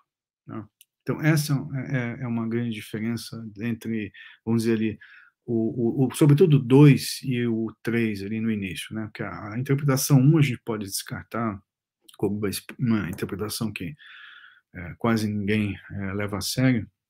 Então, se trata de decidir se o Aristóteles está descrevendo nos segundos analistas como conceito central do qual ele se ocupa ou a noção de conhecimento científico entendido como compreensão holística de uma disciplina, ou se ele está descrevendo mais especificamente em que consiste eu ter, por um dado explanando numa dada disciplina, a explicação plenamente apropriada. Isso faz toda a diferença, eu creio que a opção do Aristóteles é a, é a segunda. Agora, a sua pergunta é bastante pertinente, porque justamente ah, as objeções contra o que eu estou propondo é, poderiam vir assim de maneira é, é, da seguinte maneira, né? poderiam vir assim, olha, ah, não dá para você ter explicação apropriada de um dado explanando numa dada disciplina se você não tem compreensão holística do domínio que aquela disciplina envolve. Né? Eu acho que isso é um pouco é, exagerado, né?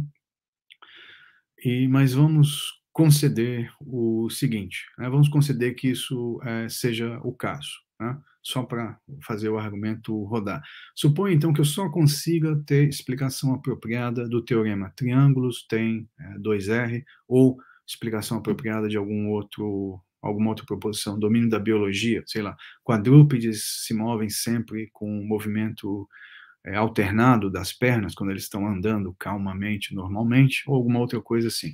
Então, suponha que eu só posso atingir explicação plenamente apropriada de um dado explanandum como esse quando eu tiver uma compreensão holística da disciplina como um todo. Isso quer dizer, quando eu sei quais são exatamente as proposições verdadeiras naquele domínio, todas elas, e eu sei certamente descartar proposições falsas que alguém poderia propor a respeito daquele domínio. Né? Vamos supor que isso seja o caso.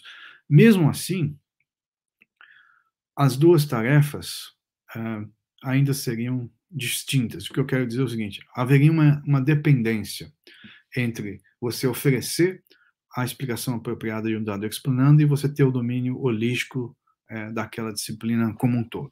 Né? Mesmo concedendo isso, são coisas intencionalmente ou hiperintencionalmente diferentes, você ter o domínio compreensivo, holístico de uma disciplina em seu todo e você oferecer para uma dada explicação, desculpa, para um dado explanando aquela explicação que é a mais apropriada. Né? Se trata de uma de uma distinção é, ainda relevante, mesmo que essa dependência é, seja realmente o caso. No entanto, é, em relação ainda a essas relações de dependência, o problema é que a dependência ela corre nos dois sentidos, né? Então, alguém poderia dizer que você precisa ter o domínio holístico da disciplina para ter as explicações apropriadas, ou para ter uma explicação apropriada. E eu diria o seguinte: que a inversa também é verdadeira. Para você dizer que, aham, esse cara é um geômetra e, portanto, domina a geometria e tem a compreensão holística do domínio da geometria, ele tem que ter a explicação apropriada de cada teorema. Mas imagina um geômetra que soubesse as definições, os postulados, né, e soubesse até mesmo é, um monte de coisas, como nas demonstrações de Euclides, ele soubesse ah, aquelas etapas preliminares lá, que o, que o Euclides chama de é, diorismos, catasqueué e tudo mais, mas ele não soubesse ali o finalzinho, que é é realmente a, a, a, comatação da demonstração enquanto tal. Né? Então, você perguntaria para o fulano, mas o que é, afinal, né, o fator decisivo que faz o triângulo ter dois R's? Ah, isso eu não sei ainda. Não faz sentido. Né? Obviamente não faz sentido um fulano que dominasse é, definições, postulados, axiomas e mesmo algumas proposições, e aí um número significativo de proposições, ele não soubesse a explicação apropriada, assim, não dá. Né? É, é, o fulano tem que saber dar explicações apropriadas sobre explananda no domínio para dizer que ele tem é, ciência sobre aquele domínio como compreensão holística do domínio. Mas, além disso, além da, da dependência correr na dupla direção, eu diria que há, há, um certo exagero, e acho que é isso exatamente o objeto da, da sua pergunta, né? Desculpa, eu estou me alongando muito, mas a sua pergunta é se a explicação apropriada, no final das contas, não acaba por exigir uma compreensão holística do domínio total da disciplina. Né?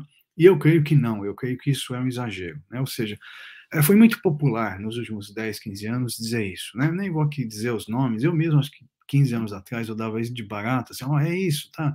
Você só vai poder oferecer explicação é, apropriada do teorema do 2Rs quando você tiver o domínio todo, etc. e tal. E não é bem assim. Não é bem assim porque ah, o, o, que, o que é preciso é o seguinte: é, o que a gente podemos dizer é o seguinte: é absolutamente impossível para qualquer especialista dar a explicação plenamente apropriada para um determinado explanando se ele não tem conhecimento de um número significativo de proposições, definições básicas e regras daquele domínio. Isso é um fato, né? ou seja, ninguém vai conseguir explicar o teorema porque o triângulo tem dois R se a pessoa não conhece definição de ponto, definição de linha e uma série de outras coisas básicas em, em geometria. Né? Uh, propriedades das linhas retas e propriedades das paralelas, um monte de coisas assim. Não dá para explicar o teorema se você não sabe essas coisas. Mas é perfeitamente concebível que alguém, é, o aprendiz de geometria, por exemplo, que alguém conceba a explicação plenamente apropriada desse teorema, porque o triângulo tem dois ângulos retos, inclusive numa etapa é, bastante preliminar é, da, do, do, aprendizado geométrico. Né? Então, é possível que alguém compreenda e tenha a demonstração apropriada desse teorema sem ter a compreensão holística do domínio como um todo. Ou seja, uma série de proposições muito mais complexas, que envolvem provas muito mais complexas, diagramas muito mais complexos, envolvendo paralelogramos e um monte de outras figuras muito mais complexas do que triângulos, círculos, quadrados e coisas assim, é perfeitamente possível que alguém ainda não conheça essas outras figuras mais complexas, não tenha passado pelas provas mais complexas que essas essas figuras exigem, né? e mesmo assim, esse aprendiz de geometria vai ter a compreensão plena de por que o triângulo tem é, a soma dos seus ângulos igual a dois ângulos retos. Então, eu creio que, que houve um, um exagero é, bem grande nessa vertente interpretativa que dominou, está dominando ainda, de certo modo, né? nos últimos 20 ou 30 anos, a exagero segundo os analíticos, houve um, um exagero grande com relação a, vamos dizer assim, esses desse princípio holístico, né? essa ideia de que eu tenho que ter o domínio inteiro para ter a explicação de um determinado explanado. Não, é um exagero. Né? Eu, claro, algum preparo prévio a respeito de definições básicas no domínio e proposições verdadeiras naquele domínio, procedimentos pertinentes naquele domínio, eu tenho que ter, senão eu não ofereço explicações apropriadas. E é claro que em outros casos, ou quero dizer, em outras disciplinas científicas que não a geometria, a, a, interconexão entre os vários fatores é bastante complexa também e ela pode interferir na compreensão que a gente tem de um determinado explanando e pode interferir na é, seleção de fatores explanatórios e, portanto, vão interferir é, para o sucesso ou não de uma explicação. Né? Mas ah, eu não vejo por que dizer que ah, eu só tenho é uma espécie assim, de tudo ou nada, né? Ou eu tenho todo, ou eu não tenho nem sequer uma é, explicação apropriada. Há um, há um, certo exagero.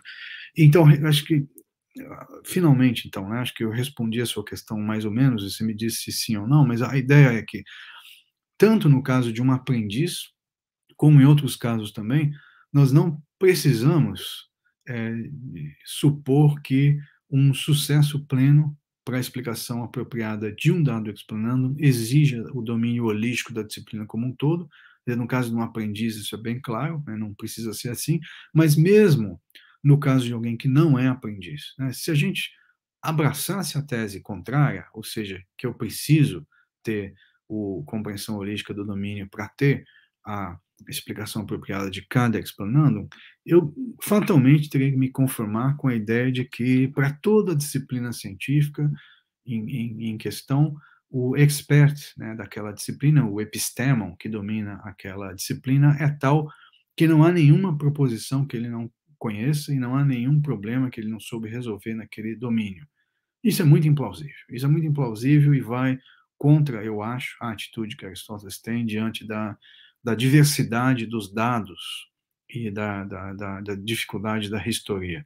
Eu sei que um caso é construído para defender essa posição a partir da interpretação de primeiros analíticos 1.30. Eu acho que a interpretação que defende esse resultado final está errada, eu tenho um artigo sobre isso, em que eu defendo a ideia de que o que o senhor está dizendo em 1.30 é bem diferente da ideia de que eu preciso primeiro coligir todas as interpretações, desculpa, todas as proposições verdadeiras num dado domínio, e só então eu vou procurar as é, explicações e vou acertar as explicações, né? Aí tem vários problemas naquele texto, mas eu quero ressaltar agora que é essa ideia de que eu preciso coletar na minha investigação é, tudo que é verdadeiro a respeito um domínio e só depois que eu vou procurar as explicações, isso é bastante, na minha interpretação, é bastante errado, né? Eu acho que não, não é algo que, que se sustenta, né? Então, eu acho que isso era a questão básica, assim, que você tinha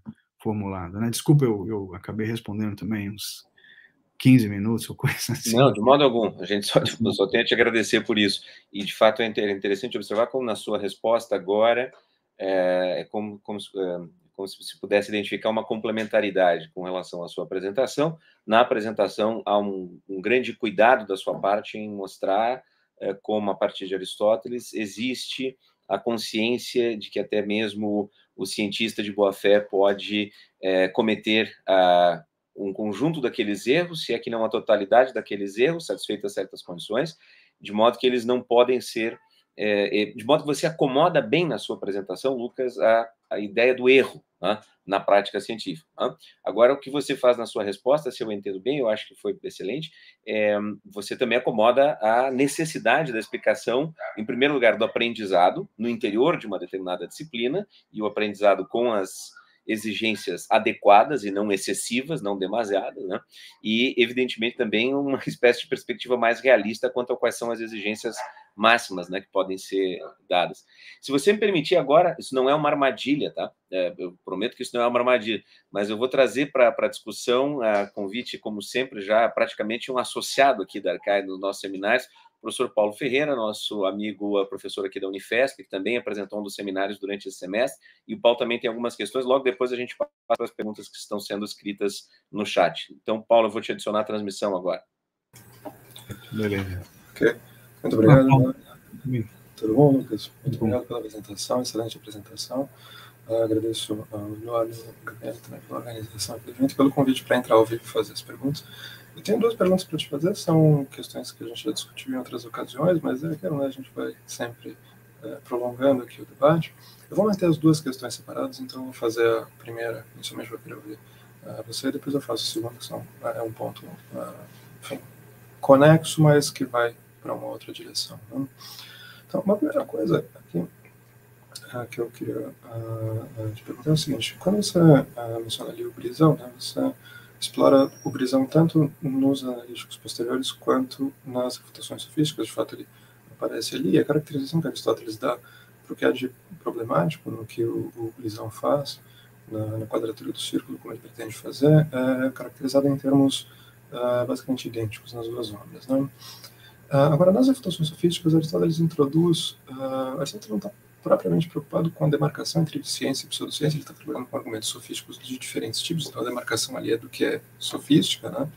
mas ele acaba nos fornecendo critérios para uma demarcação entre ciência e pseudociência, mas ali Aristóteles parece fazer dois recortes uh, diferentes. Né? Então, a demarcação não é uma única linha, mas duas linhas, tem duas fronteiras importantes ali que, que, que são levadas em conta para delimitar o que é a ciência. Então, uh, de um lado, a gente tem aquilo que Aristóteles chama propriamente de argumentação sofística, mas de outro lado, a gente tem o que nas refutações sofísticas é chamado de pseudografêmata. Né? Difícil traduzir o termo, eu, eu mesmo uso pseudografema em português. Tá? Mas a diferença é basicamente a seguinte: Aristóteles fala do brisão que está do lado dos sofistas, né? Uh, que ele usa princípios comuns, isto é, princípios que não são específicos uh, de nenhum domínio uh, restrito de investigação científica, né? e depois eu vou voltar, daqui a pouco eu vou voltar a isso, o objeto da minha segunda questão. Tá? Mas no caso dos pseudografemas, a gente tem uh, princípios específicos, né? princípios que são uh, do domínio restrito de uma investigação científica, mas usados do modo como não se deve, isto é, usados inadequadamente. Né? E esse recorte acho que é, é interessante aqui, uh, pelo seguinte, quando você lista ali as seis possibilidades uh, de erros que, aparecem ali nos, nos analíticos, né, uh, o, o, as caracterizações 1 a 5 tá, parecem incidir sobre esse tipo dos pseudografemas. A gente está no, no, domínio de uma ciência específica e, de fato, você uh, vai dizer que são erros que um cientista genuíno pode cometer, aqueles erros 1 a 5. Tá? Então, você está dentro de um, de um domínio uh, científico muito bem demarcado, que acontece que você usou mal ali os princípios e cometeu algum erro lógico, ou, enfim, fez, uh, uh, falhou em estabelecer qual é o, explanando uh, devido, ou, enfim, um, não, enfim cometeu algum erro internamente assim, como você caracteriza. Né?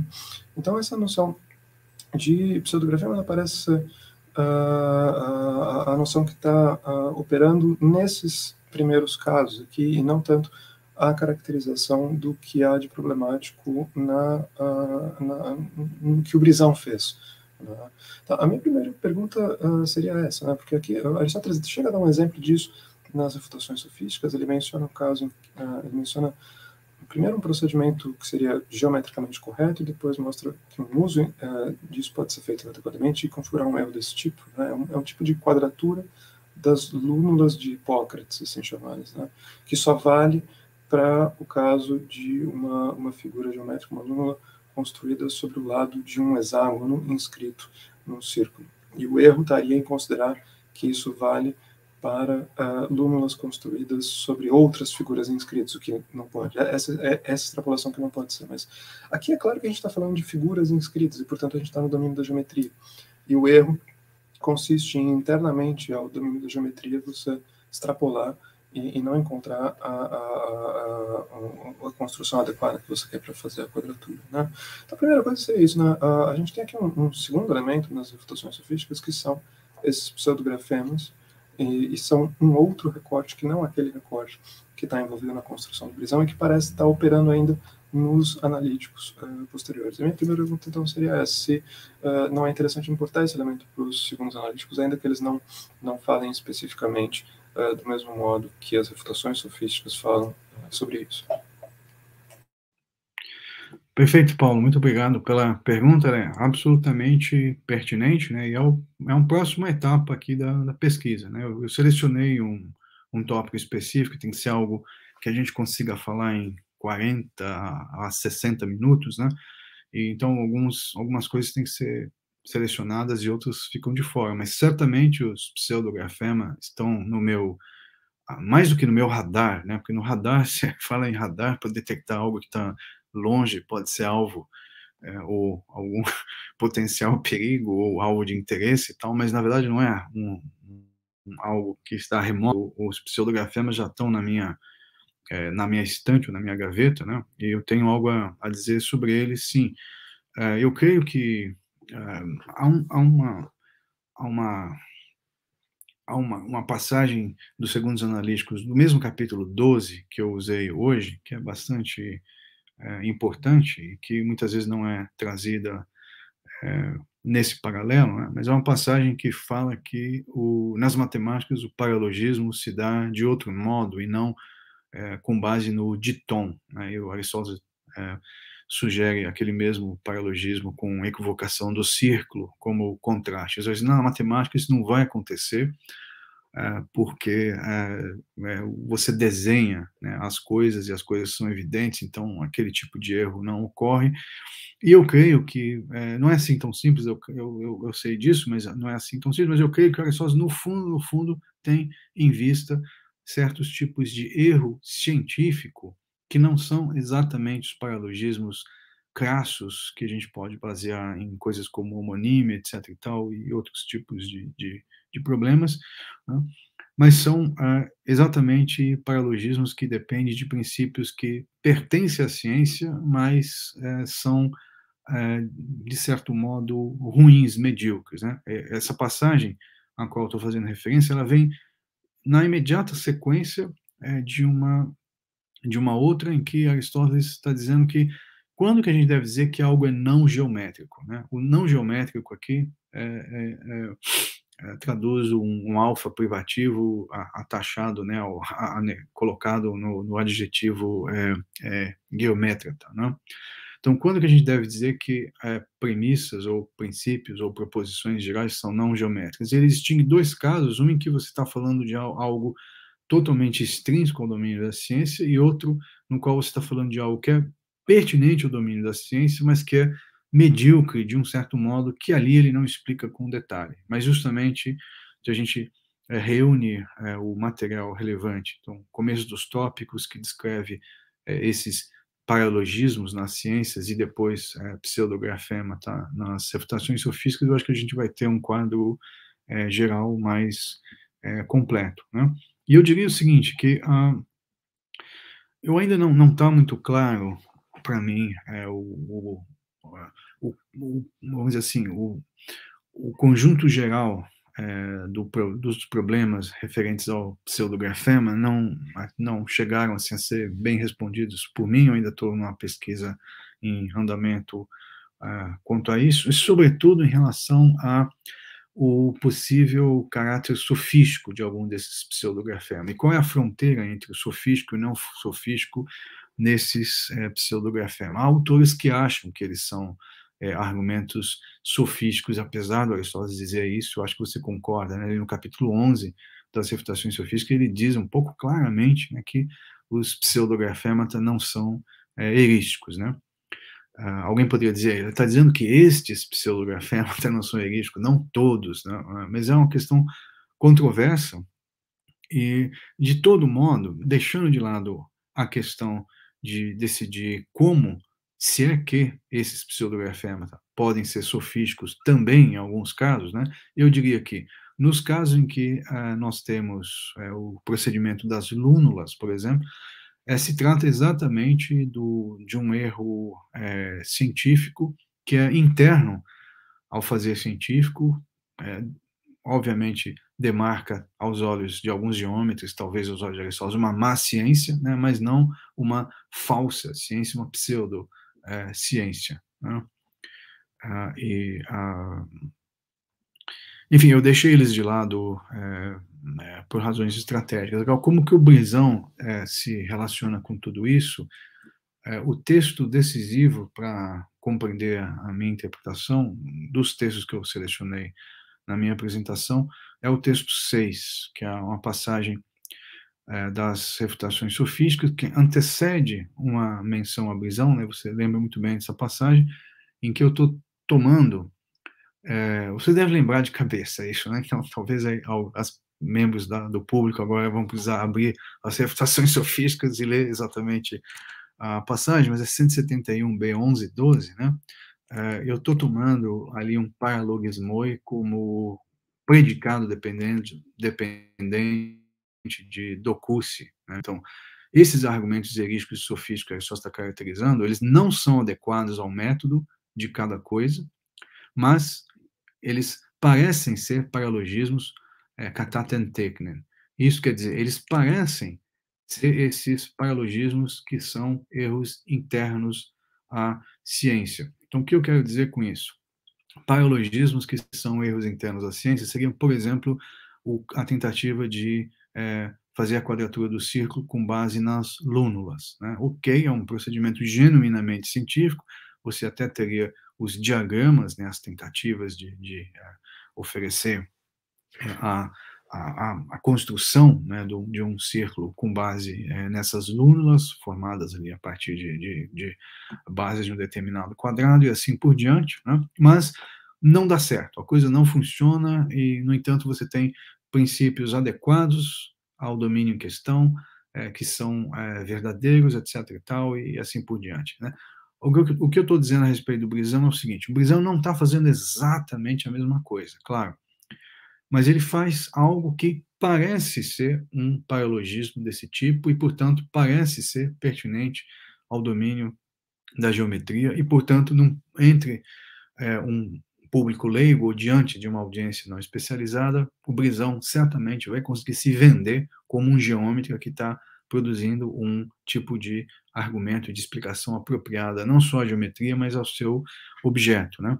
E é, com relação ao que o Brisão está fazendo, eu creio que há várias é, divergências sobre isso, né? mas eu creio que o que o Brisão está fazendo é exatamente o seguinte: ele está usando um princípio que pode ser caracterizado, sim, como comum, no sentido que ele transcende o, o, o, a natureza específica do explanando em pauta, que é o círculo e o, o quadrado, que estão envolvidos na composição desse explanando, e você pode até dizer que o princípio mobilizado por Brisão transcende o domínio específico ao qual aqueles dois, aquelas duas figuras pertencem, ou seja, o domínio da é, geometria é, plana. Né? É, então, nesse sentido, o, o, o, princípio de Brisão é comum. No entanto, né, eu creio que o modo como esse princípio é, é descontado, né, o cashed out do inglês que funciona bem, mas o grego usa apodidotai para isso, né? O modo como esse princípio é usado pelo Brisão, que espelha o modo como isso é feito com princípios comuns pelos geômetras como um todo, né, é tal que você gera, na verdade, a partir do princípio é, especificado, desculpa, a partir do princípio não especificado, formulado nos seus termos mais gerais, você gera uma formulação mais específica em que os termos do problema fazem parte do conteúdo daquela especificação, e aí você tem uma aparência de adequação ao objeto a partir da especificação daquilo que é o, o, um princípio comum. Né? E eu estou dizendo isso para ressaltar um ponto que é, talvez apareça na sua segunda pergunta, mas já estou antecipando, que lá na, mais para o finalzinho do capítulo 11 das refutações sofísticas, né, quando o brisão é novamente descrito e você tem ali a ideia de princípio comum sendo utilizado, logo em seguida vem aquele outro exemplo de alguém que dá um falso conselho médico, não, não faça nenhum exercício depois da janta, por quê? E aí ele usa o argumento do Zenão, porque é impossível ir de um lugar para outro, você tem que percorrer a metade, depois a metade da metade, etc. Eu acho que os dois tipos de argumento não estão no mesmo patamar, apesar da proximidade de ambos dá a entender isso. Né? Ou seja, com o, o, o, é, muitos poderiam se fiar é, nesse, nesse texto para dizer que o só está tentando fazer esse tipo de paralelo. Dizer, o Brisão não produz um argumento em que as premissas sejam pertinentes ao domínio em questão, no qual o explanandum se localiza. Eu acho que isso é exagero, porque, ok, o que o Brisão faz é usar um princípio comum, mas é um princípio comum ao domínio das quantidades e que ele especifica de um determinado modo que é absolutamente similar ao modo normal como geômetras especificam princípios comuns e usam eles como premissas das demonstrações o tempo todo. Né? Eu não sei se isso responde, Paulo, mas acho que é o que eu tinha a dizer. Estou é, curioso para ouvir sua seg segunda questão agora. Não, responde é, perfeitamente, vai até além do que eu perguntei na primeira e já antecipa o que eu vou colocar aqui na segunda agora, que é justamente a questão do prisão, né? qual é a adequada caracterização que a gente tem que dar para o que está acontecendo no caso do prisão. Né? Uh, então, estou de acordo com você que, ali o que o, o, problema que aparece ali na passagem 171 11 12, né, é que os argumentos sofísticos eles aparentam ser segundo a arte, né? E, e enfim, é, é, exatamente o que vai acontecer no caso do Brisão também. Eu acho que eu dei um pouquinho diferente a sintaxe do Rosso ali na passagem, pelo que você leu, mas isso é uma outra questão. A interpretação geral ali daquele passo está perfeitamente de acordo, diferentemente de enfim, pensar que de modo geral, a, a pseudografia e a são uh, admissíveis como sofísticos. Acho que Aristóteles demarca ali as duas coisas, uma coisa é ser sofístico, outra coisa é pseudografema, mas o, o, sofista, ele, inclusive, como no caso dos pseudografemas, ele também vai parecer uh, estar uh, procedendo segundo a arte, segundo a ciência em questão. Né? Agora, no caso do, do, do Brisão, né, como você mencionou, a gente tem ali princípios comuns. Isto é, a Brisão está lidando com um princípio geral sobre quantidades, não quantidades uh, especificamente uh, geométricas, que são quantidades contínuas, mas pode falar inclusive para uh, quantidades discretas. Né? Ele, ele inscreve uma figura num, num, círculo e circunscreve a mesma figura, né? um quadrado inscrito em quadrado circunscrito, e ele diz que bom, a quadratura do círculo vai ser a figura que está entre essas duas. Né? Bom, é claro que dado uma, uma quantidade menor do que uma quantidade dada e uma quantidade maior do que uma quantidade dada, uma quantidade igual à quantidade dada vai estar entre a menor e a maior, óbvio. Né? Isso é um, é um princípio comum para qualquer quantidade. Né?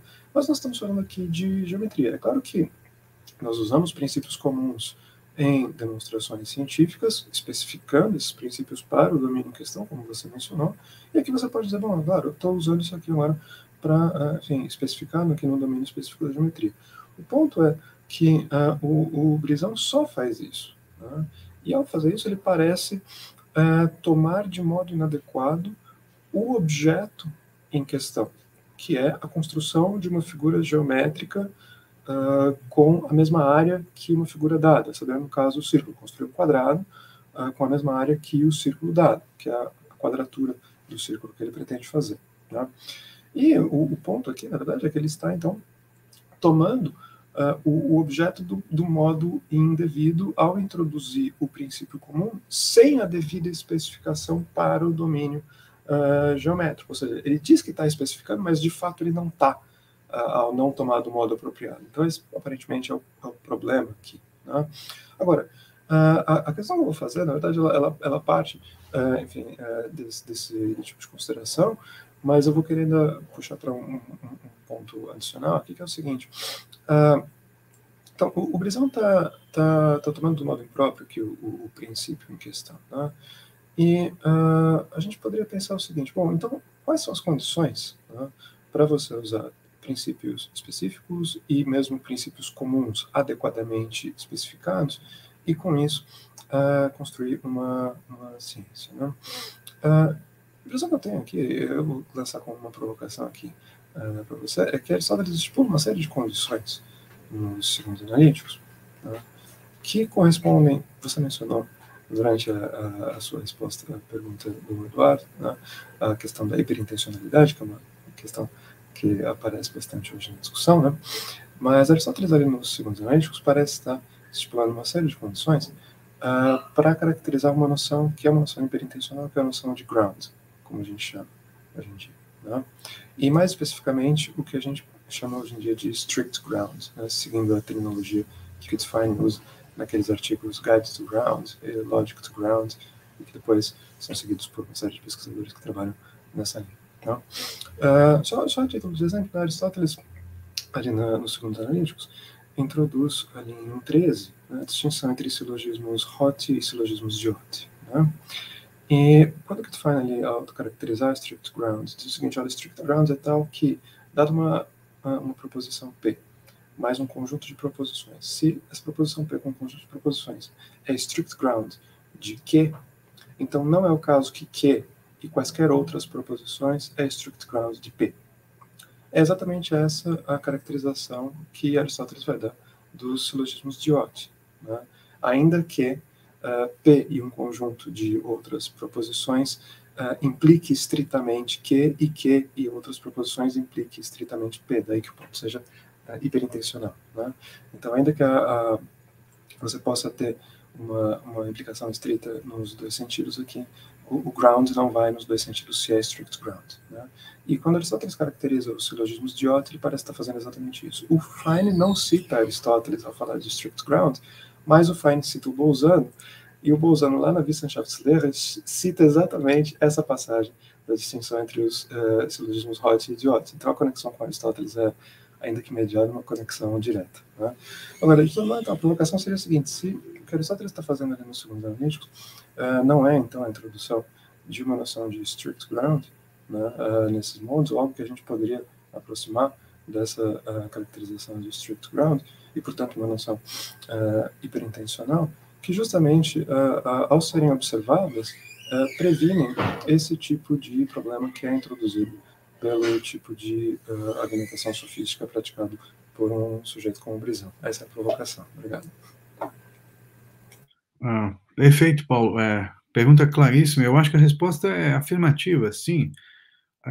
mas se eu entendi bem o, a, a razão e o, todo o contexto que está enquadrando a sua pergunta, né? Eu creio que a minha resposta é sim, dizer, é, o, vamos dizer assim, o, o, essa noção de street ground é interpretada é, nos termos mais literalmente aristotélicos, seria a ideia de explicação apropriada, né?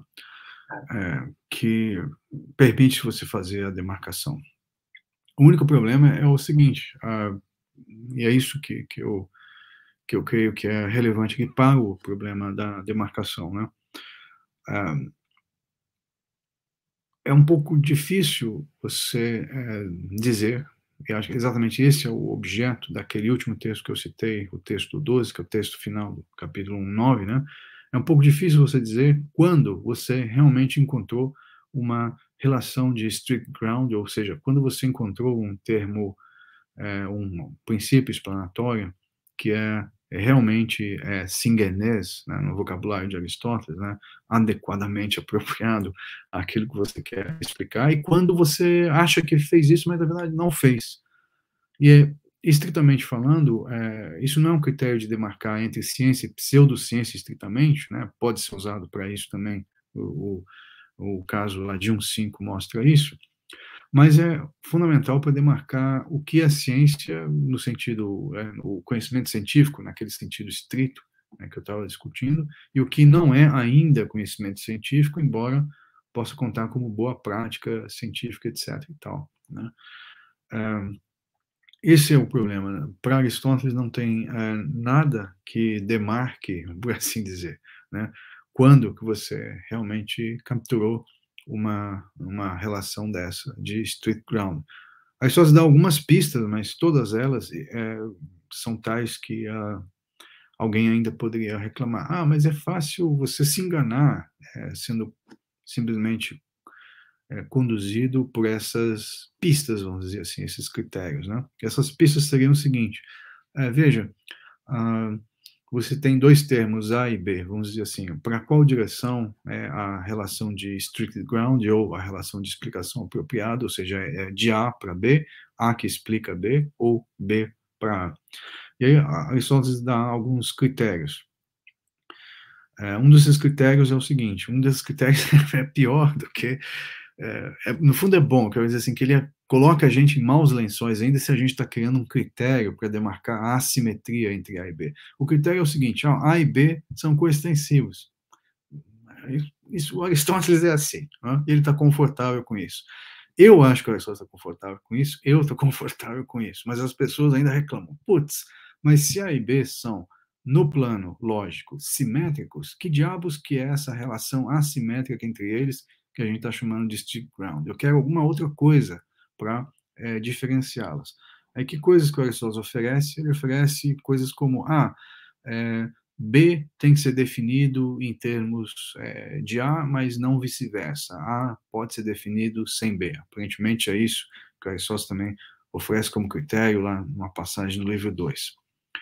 Ah, Tá, mas isso funciona bem, mas não, não, não fica meio circular, porque ah, os critérios que as pessoas têm para definição são, por sua vez, tais que dizem o seguinte: olha, você tem que pôr na definição, além de alguns fatores lá que vão dar uma descrição fenomênica do objeto, você tem que pôr a causa. Mas eu queria saber qual é a causa, e você me disse que a causa é aquilo que é capturado na definição, ou seja, são fatores essenciais para fazer o que o, que o objeto seja o que ele é.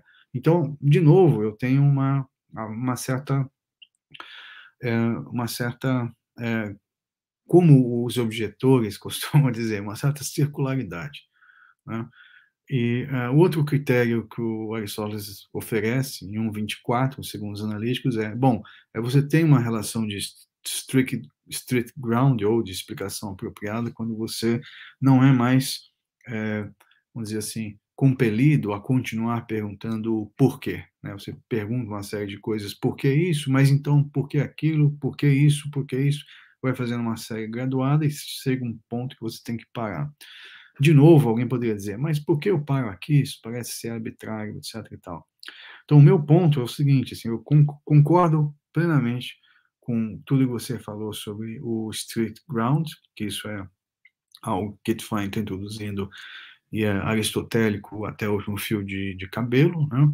A história disso, via Bolzano, eu não conheço bem, mas é, que isso é aristotélico é, é muito bem conhecido. E, uh, e eu acho que o Aristóteles estaria é, é, confortável com, com, com a situação que eu acabei de descrever. Fazer, olha, é, de fato, vamos dizer assim, se você quiser atingir a, a, a, explicação plenamente apropriada é o que faz uma pretensão científica ser rigorosamente científica. Se ela não conseguiu, ela é, é simplesmente quase ciência. Agora, o problema é que eu tenho é o seguinte: quase ciência pode ser um cientista de boa fé fazendo a sua prática científica e chegando numa tentativa de explicação que ele acha que é definitiva, mas ainda não é. E, no entanto, quase ciência pode ser também a pseudociência, em que alguém como o Brisão se vale exatamente dessas dificuldades, se vale exatamente da dificuldade de você dar critérios lógicos, por exemplo, para mapear as relações de explicação e, se valendo disso, o Brisão produz algo que ele sabe que é uma mera aparência de, de explicação apropriada, ou uma mera aparência de strict ground, né? E aí, esse cara, então, é pseudocientista, mas não há nada, por assim dizer, é, que intrinsecamente, na falha que ele cometeu, possa dizer que ele é pseudocientista em vez de mau cientista. Não sei se ficou claro isso que eu quero dizer. Eu quero dizer basicamente o seguinte: se você é, não atinge a explicação apropriada e é, acha que achou uma explicação apropriada, mas ela realmente não é, tudo que a gente pode dizer é o seguinte: ah, eu sou quase cientista, mas o que vai demarcar a, a, a minha a minha tentativa é, dizendo que ela é pseudociência, quando ela é pseudociência, é algo que é, vamos dizer assim, fora das características intrínsecas do argumento enquanto tal, é algo que diz respeito ao meu propósito, ao modo como eu vou apresentar isso diante de uma audiência ou diante de uma, de uma plateia, enfim, diante de algum contexto social que vai é, avaliar o argumento. É, não sei se isso é, é exatamente o, ponto que você estava. São duas coisas que eu estou de acordo com, com tudo que você disse também. Eu acho que tem um, um, um propósito de Aristóteles nos segundos analíticos de encontrar as condições para uh, explicação apropriada, né, que é o que a gente chamaria de strict ground, né, e, e, de fato você aqui não tem ainda clareza quanto a, a o que isso significa. Né, você está aqui num, domínio onde, por mais que você tenha ali critérios, a questão é de saber como que eles exatamente uh, se aplicam, né, como que eles podem valer ali para as questões particulares que estão envolvidas quando a gente tem é, uma questão de saber se uma dada explicação é uma explicação legitimamente científica ou não. Né?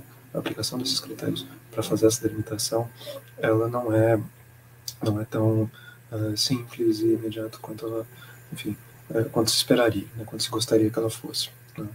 Agora, uh, uma, uma, uma, última coisa ainda, que é, é, o que você mencionou, né? Agora, a questão da, da intenção, assim, né?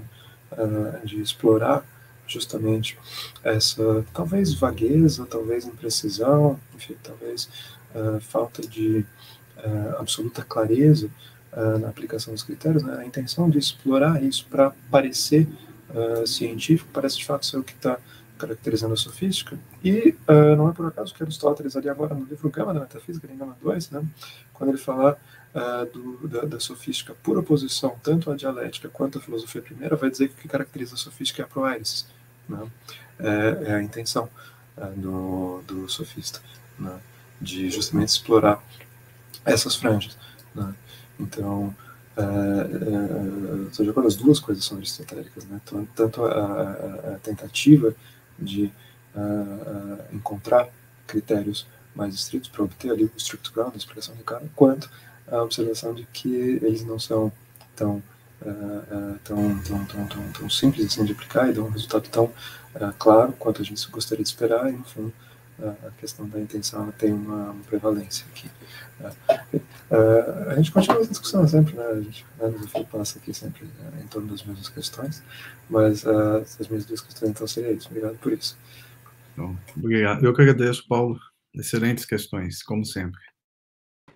Obrigado, Paulo. Obrigado, Lucas, pela resposta. Eu vou deixar também, pelos esclarecimentos, eu vou deixar no ar essa questão final, essas observações finais a respeito do ponto da intenção, que conecta com uma outra questão. E se o Lucas não se importar, eu queria fazer uma questão que o Breno é, Zupolini, professor da Unifesp também, seu conhecido, colega de trabalho, ex-aluno né, e grande agitador também das questões aristotélicas atuais, é, fez para a gente aqui no, uh, no chat. Eu vou colocar na nossa tela, tá bom, Lucas, as perguntas?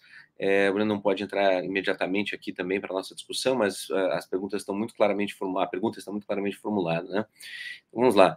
É, o Lucas, obrigado pela apresentação uh, esclarecedora. Concordo que conhecer em um sentido ou outro a explicação adequada de um dado teorema não requer uma apreensão holística da ciência como um todo. Mas não seria recomendável distinguir o conhecimento deste aprendiz do conhecimento que um cientista teria dessa mesma explicação? Continua. Os defensores da interpretação holística explicariam esta diferença alegando que apenas o cientista conhece os princípios da demonstração enquanto tais, isto é, enquanto imediatas, etc. Pois Tal conhecimento envolveria, entre outras coisas, saber que não há outras proposições no domínio que explicariam os princípios. E ele continua para encerrar. Então, você teria alguma sugestão alternativa para diferenciar os conhecimentos que o cientista e o aprendiz têm do mesmo teorema? Obrigado, Breno. Obrigado, Breno. Uh, você pode deixar na tela esse finalzinho, né? É, isso, é. é peraí. Ah, continua ainda. Você diria que, ao menos com relação a esse teorema, não. É, é, em relação a isso que suponho está na tela para todos agora, eu diria que não. Eu, não. eu acho que o conhecimento que o aprendiz e o cientista já definitivo tem em relação ao mesmo teorema não é o mesmo. Né? Eu só é, recorri a esse exemplo para mostrar é, o ponto que era relevante aqui nessa apresentação. Dizer, de fato, não, não, é tanto não era tanto meu objeto explorar que essas diferenças entre esses dois estados cognitivos, né? O que eu só eu creio que há um, um exagero da parte do vamos dizer assim desse pessoal que defendeu a, a interpretação, o, vamos chamar de holística, né? É, no sentido de que eu deveria entender tudo, todas as proposições é, é, que são verdadeiras no dado domínio para poder compreender os teoremas, e sobretudo quando isso é fundamentado a partir de uma exegese de primeiros analíticos 1.30. Né?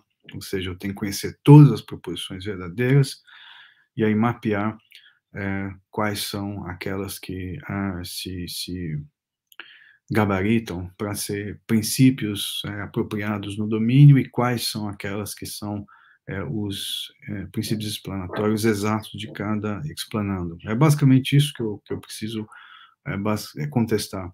Agora, quanto ao estado cognitivo do, do aprendiz e do cientista já consolidado, eles certamente têm é, estados cognitivos diferentes.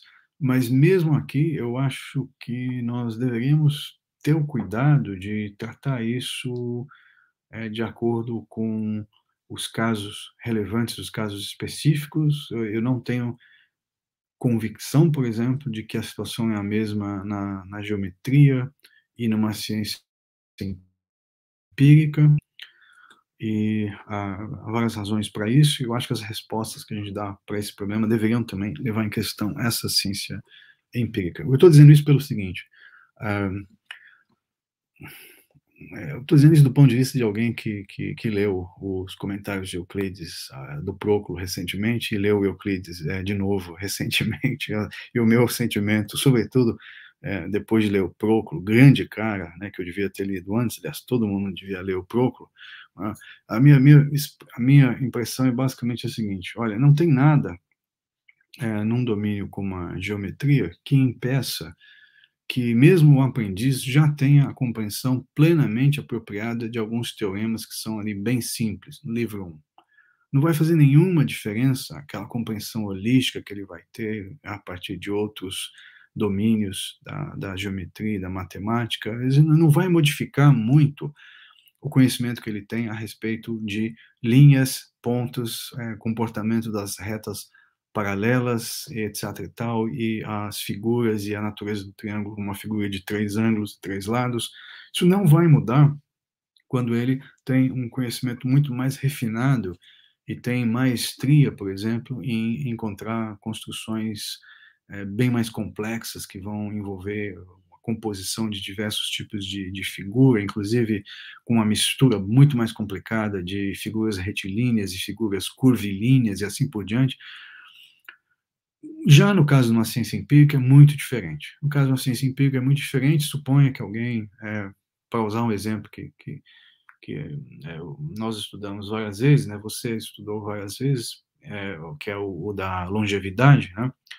é, vamos supor que Aristóteles adotasse essa, essa proposta explanatória de que a longevidade se explica por um equilíbrio que o, o vamos dizer assim, tem, o temperamento do corpo animal, tem, a temperatura e o equilíbrio é, do próprio corpo animal né, tem com os fatores externos, como a gente chama hoje em dia, os fatores é, climáticos, né, o, o, o meio ambiente, vamos dizer assim. Ah, eu creio que na biologia há outras coisas que poderiam ser empiricamente descobertas a respeito da homonímia no curso de investigações mais cuidadosas que afetariam a compreensão que é, mesmo cientista consolidado tem a respeito da, da, da, da longevidade, desculpa, né, e, claro, afetariam a compreensão que um suposto aprendiz né, de biologia teria.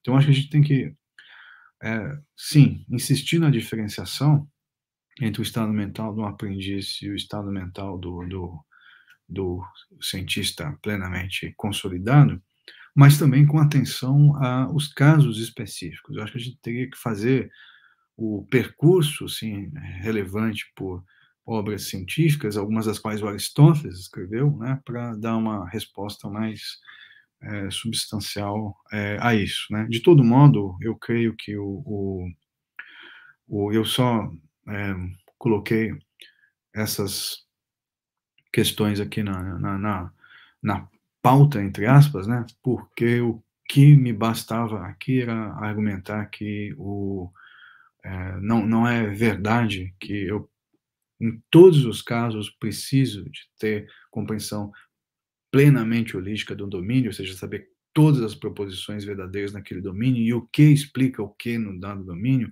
para ter a explicação apropriada de um dado uh, teorema. Não sei se ficou claro, Breno, mas uh, é exatamente, acho que isso que eu, que eu teria a dizer, essa questão que é, que é bem importante, bem pertinente. Obrigado, Lucas, mais uma vez. O professor Gabriel Cornélio, obviamente, faz a provocação platônica, né? a sugestão de que a anamnese poderia desempenhar um pouco de eh, papel. Obrigado, Breno, pela pergunta. E para a gente finalizar, Lucas, se você me permitir, só mais uma questão. É, um pouquinho antes, havia uma pergunta do Cedric Aires, né? que eu coloco aqui na tela, e eu vou, eu vou parasitar essa pergunta dele para desenvolver um ponto uh, que é o seguinte: a pergunta seria, professor, considerando esta centralidade da intenção uh, da parte do pseudocientista, por acaso Aristóteles fornece alguma indicação de como discernir se alguém está de boa fé uh, ou, na pilantragem, né? essa pergunta, e eu vou uh, parasitar essa pergunta do, do, do Cedric para te fazer também uma provocação, uh, Lucas, que é a seguinte: você citou o texto da Ética Eudêmia, né, que seria o seu texto 11, mas não chegou a ler, não chegou a desenvolver, mas lá ocorre a noção de uma falta de boa formação, uma falta de boa educação, uma, uma, uma paideucia, né? que é um conceito também muito escorregadio, muito difícil, e que, portanto, uh, joga uh, uh, a gente num terreno similar a esse de tentar identificar da parte de quem comete o, o, o, tipo de erro que nós estamos querendo identificar, ou o tipo de pseudociência que nós queremos identificar, como pseudocientista, ou sofista, ou o que quer que seja, mas da parte também daquele de quem eventualmente cai né, nessa armadilha, ou eh, se deixa levar por esse tipo de argumento, né?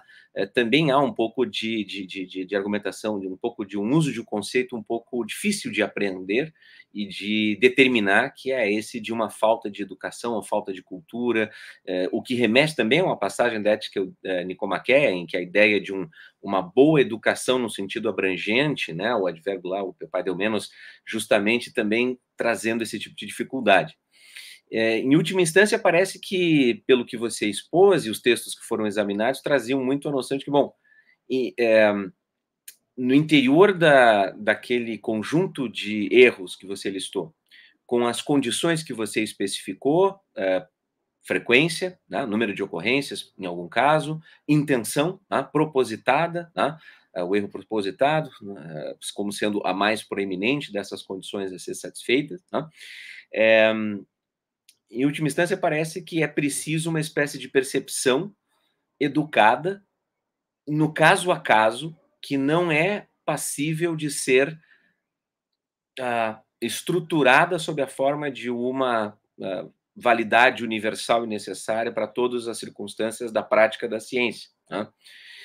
E aí a minha provocação uh, parasitária a essa pergunta do Cédric é, mas isso não joga toda a distinção fundamental entre o domínio do que é a ciência demonstrativa, com sua necessidade, universalidade, etc. e tal, de um outro domínio, que é justamente o domínio da ética, por isso a provocação, né? Você mesmo trouxe a Eudêmio como um texto que poderia ser mobilizado aqui, que justamente requer um tipo de conhecimento que é dos singulares e que vai ser analisado no caso a caso e que vai ser dependente, estritamente falando, dependente de uma boa educação e de um conjunto de propriedades que também não podem ser é, ordenadas e explicitadas sob a forma de regras universais ou de uma aplicabilidade estrita, falando. Né? Essa seria então a provocação, como eu disse, parasitária à pergunta dele, é, é, Cedric. Obrigado por isso mais uma vez, Lucas.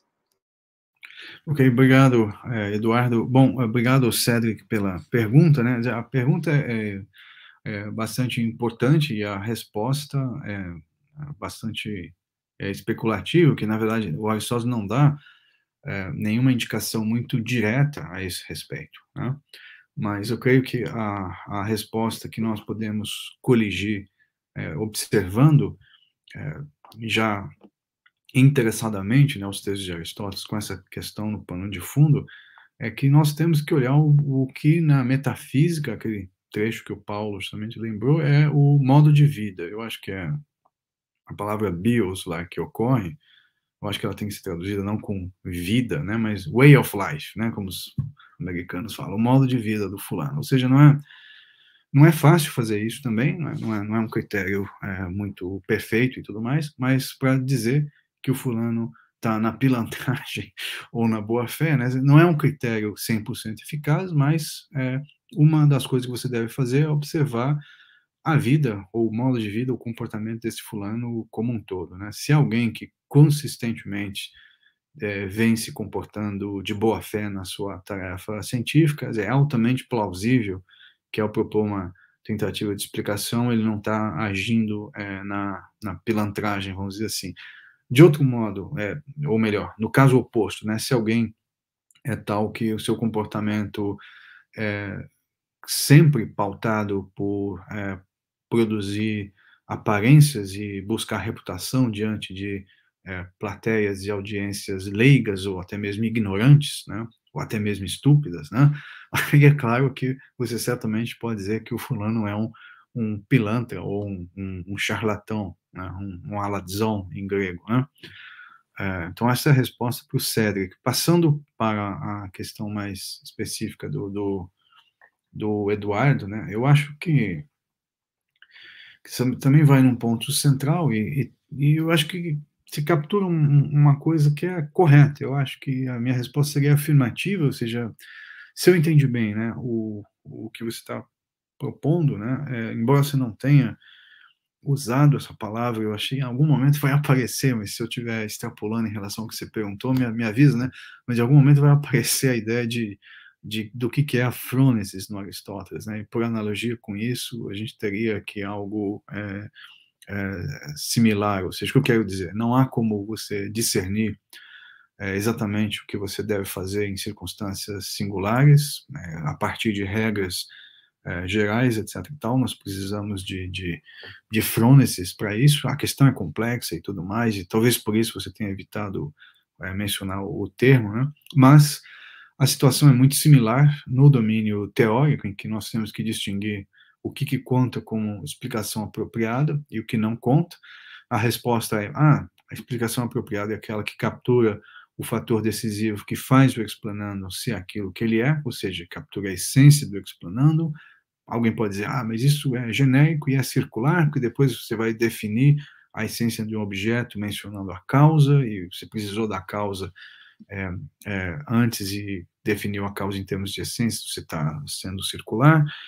E, e aí a ideia é que, em casos específicos, mesmo assim, mesmo se alguém não tiver problema com circularidade, alguém pode dizer, em casos específicos, ou melhor, em casos particulares, singulares, diante de um problema que um, um cientista tem que resolver, não há como aplicar uma regra geral e dizer, ah, essa aqui é a boa explicação, e, e não há como aplicar uma regra geral e dizer, ah, essa explicação é a explicação científica, aquela outra é a pseudocientífica, né? É, se é isso que você tá, exatamente estava trazendo né, para o debate, o Eduardo, a, a, minha resposta é, acho que é afirmativa, é concordar com isso, é exatamente isso que está acontecendo é, em ambos os domínios. É claro que na, na ética a coisa é mais ampla, né, mas também no domínio teórico, Aristóteles tem ali uma, uma zona de, vamos dizer assim, de é, uma zona cinza em que você tem que fazer certos recortes, tomar certas decisões, declarar que algo é pseudociência, por exemplo, ou pelo menos má ciência, e o, é, vamos dizer assim, critério para fazer isso é um critério que vai ser tão nebuloso quanto o critério que um, um frônimos vai ter para determinar o que, que ele faz como correto, no caso a caso. Perfeitamente. É é, era, era, exatamente nessa direção que ia a minha, minha provocação para você. Eu fico satisfeito que você tenha podido desenvolver, mas aí você vai ter que pagar o preço de agora, uma vez que isso tocou no ponto é, da frônese do livro sexto, né? O Fernando Martins Mendonça pede, por gentileza, para que a gente faça, extrapole mais uma questão aqui. Eu tenho o grande prazer de colocá-lo em tela. Então, o professor Fernando pergunta o seguinte: é, no livro sexto da Ética Nicômaco, Aristóteles apresenta o conhecimento científico como uma disposição, uma habilitação, que é a sua tradição, né, Lucas, é, para fazer demonstrações e, como tal, o conhecimento científico parece requerer que o cientista esteja em certo estado epistêmico. A inexistência desse estado é exemplificada em 7.3, é, pelo aprendiz, é, que, reproduz 6.3, pelo, que reproduz demonstrações sem que isto tenha se tornado natural a ele um dos modos de diferenciar o estado epistêmico uh, no, no, âmbito das éticos uh, uh, seria a noção de disposição habilitação para fazer demonstrações. Há algum aspecto relevante dessa discussão da ética para esse problema? Então, pergunta do Fernando que eu acho que contribui para continuar com a reflexão que você vinha fazendo, Lucas. Uh, sim, obrigado, Fernando, pela pergunta. Né? O, eu acho que Sim, há um aspecto relevante dessa discussão da ética, sim, para o problema, né? Isso tem sido bastante valorizado agora também no, nos últimos anos, né? É, isso certamente tem um certo overlap, uma certa sobreposição com a, uma pergunta do, do Breno lá. Como é que a gente diferencia, né, esses estados mentais do, do aprendiz e do, do cientista é, consolidado, né? E é, no entanto, eu acho que o, o exemplo da ética nicômaco não é exatamente o exemplo do aprendiz de geometria que eu tinha em mente, né? porque o geômetra é um cara que, vamos dizer assim, tem habilitação para fazer as demonstrações que ele quiser, né? ou seja, é, ele consegue demonstrar qualquer é, teorema, ele consegue resolver qualquer problema, pelo menos daqueles que os geômetras de um, da, da época julgam que conseguem resolver ou, ou explicar, demonstrar. Isso não é o caso a respeito do aprendiz. O que eu quero dizer é o seguinte: é, o, eu, eu, supus um aprendiz que tivesse já a compreensão plenamente apropriada do teorema, porque o triângulo, o teorema triângulo tem 2R. Né? É, e eu digo que esse aprendiz, é possível pensar isso, esse aprendiz, é claro, ele não sabe só esse teorema, né? é impossível, basta ler o livro 1 do Euclides, você sabe do que eu estou falando, mas ele não sabe um monte de outras coisas muito mais complexas que vêm depois. Né? Mas essas coisas mais complexas que vêm depois não vão modificar a história que ele tem sobre a demonstração apropriada daquele teorema. No entanto, esse, esse aprendiz de geômetra seria tal que você é, não poderia aplicar exatamente o critério ali da, da ética nicômaco a ele se você disser que se trata de uma habilidade ou uma aptidão, a rexis, de produzir a demonstração a respeito daquele explanando. A ideia é a seguinte, eu acho que a gente tem três casos. Uh, na, na Ética Nicômaco 7, a gente tem um aprendiz que não entendeu ainda as coisas e sabe repetir, mas não compreendeu. Ele pronuncia as palavras, repete, decorou, como a gente diz, né? hoje em dia, ele decorou o teorema, e como um bêbado, né, que reproduz os versos de Empédocles, nesse o exemplo do Aristóteles, ele é, pode recitar uma demonstração sem entender bem o que está acontecendo. Então, esse é um caso é, muito extremo. A gente pode imaginar até um caso que não é assim tão extremo, mas não é o caso ainda do aprendiz de geometria que eu tinha em mente. É o caso de alguém que não está entendendo muito bem, ele está entendendo razoavelmente, mas esse cara ainda presa né, de, é, vamos dizer assim, animais perigosos, como o sofista, né, que vão apresentar aquelas objeções que no, lá no meu slide era uma, uma, uma suposta falha é, é, que permitiria uma demarcação, era a segunda tipo, o segundo tipo de falha, né? ou seja, um tipo de objeção que alguém poderia fazer, aham, tá, duas linhas paralelas e uma terceira são paralelas entre si, então olha aqui, ó, então ele faz aquele, aquele diagrama lá, não sei se você lembra de cabeça, mostrando que eu tenho duas linhas paralelas que são paralelas uma terceira e não são paralelas é, entre si. Né? E uh, esse é, aprendiz de geometria que a gente poderia imaginar, que não é aquele que eu imaginei no início, é, seria um cara tal que não é tão ruim como o bêbado recitando versos de Empédocles, mas ele ainda, vamos dizer, ele ainda não tem segurança para dar uma resposta adequada como aquela que o Proclo é, daria, como aquela que o Proclo dá, e muito certamente o Euclides daria também no Pseudária, que ele escreveu, assim por diante. Né?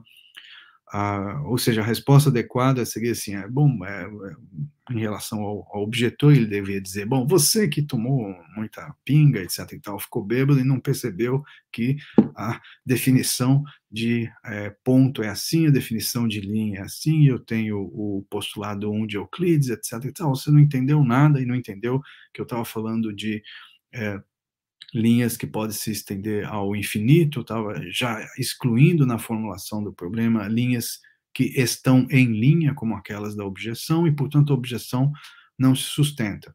Então, a gente pode dizer o seguinte: o, aprendiz de geometria que eu tinha em vista é um cara capaz de, de dar essa objeção contra aquela objeção picareta ou didática né, de um, de um é, ou sofista ou de um professor. Né?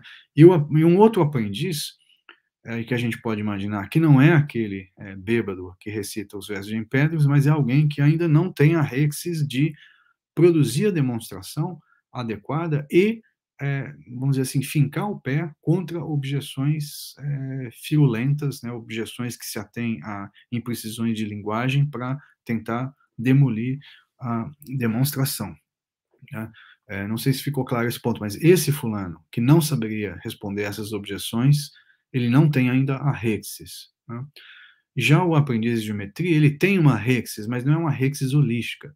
a ideia que eu tenho é simplesmente a seguinte: suponha que você perguntou é, um experimento mental qualquer. Né? Suponha que o, o, o, o curso de geometria que esse aprendiz está fazendo foi interrompido porque o professor ficou doente. A quarentena, 40 dias sem aula de geometria. Aí você pega esse geômetra ao longo desses 40 dias e a todo dia você pede, você pede para ele demonstrar o mesmo teorema é, a respeito do triângulo ou algum outros, algum outros teoremas prévios dos quais esse depende.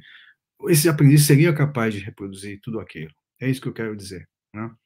Agora, é claro que esse aprendiz não é capaz de demonstrar vários outros teoremas do domínio, e por isso ele não tem a Rexis consolidada e assim ah, por diante. Né? Então, eu diria que essa discussão toda da ética nicômica é extremamente relevante, mas ela ainda, é, do jeito como ela é formulada, ela precisa de muito refinamento. E por essas duas razões. Primeiro, porque a própria ideia de Rexis apodeitiker é formulada sem menção a um objeto da apodeixis em questão da demonstração, dizer, demonstração de que exatamente? De todos os teoremas do domínio ou basta de um conjunto limitado entre eles, que isso introduz uma diferenciação que eu acho que é relevante levar em conta, e também a própria, é, vamos dizer assim, é, gradação um pouco mais granulada né, de, de da Rexis, né? ou seja, a identificação de certos estágios em que alguém tem aptidão ou habilitação para